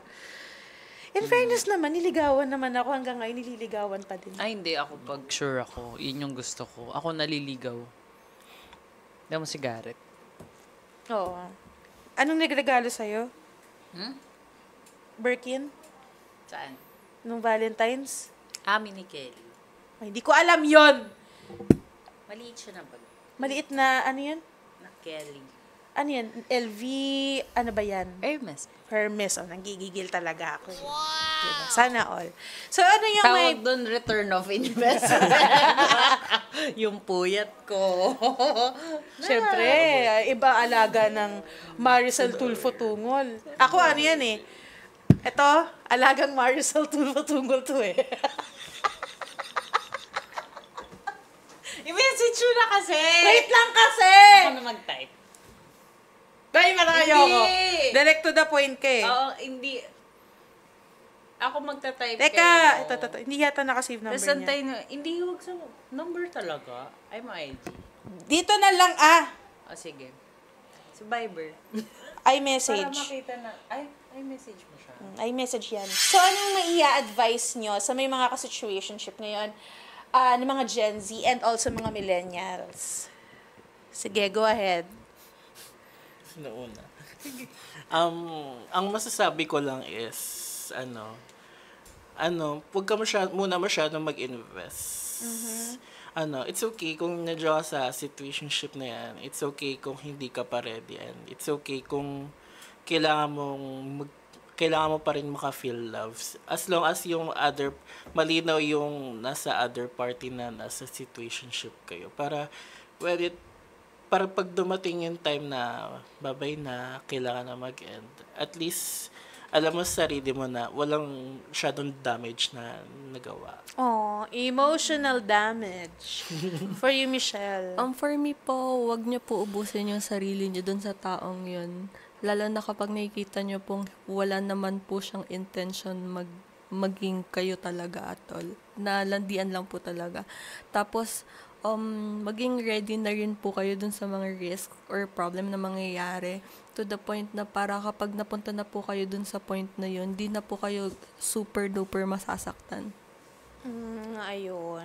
May mga gusto kayong i-greet or gusto niyo i-follow kayo sa Instagram ninyo, go ahead. Hello po sa mga friends namin sa school po, sa FEU. Yung, yung ano, medyo censored yung bar, ano, name Okay ng mga lang, bar. walang censored. Ay, wala po ba? Ay, ano, sige. Hello mga- po sa Barbie Lots. Hello po sa Barbie Labs. Hello po kay La Obs, kay Kay Seng. kay Seng, kay Nicole. LA, kay Big Big. Sa mga Barbie Lots naman dyan, kila, kila Mika, kay Ish, kay Kate, kay Zoe, kay Jules, tsaka kay Honey. Ayun. Maraming saka- maraming, yes, go. Tsaka hello po sa best friend ko. Sana nakikinig ka ngayon. Hi, Aliana. Ayun, hi Aliana. And sa mga students natin from FEU, maraming maraming, FEU dito? Ano, FEU Manila. Moraito po.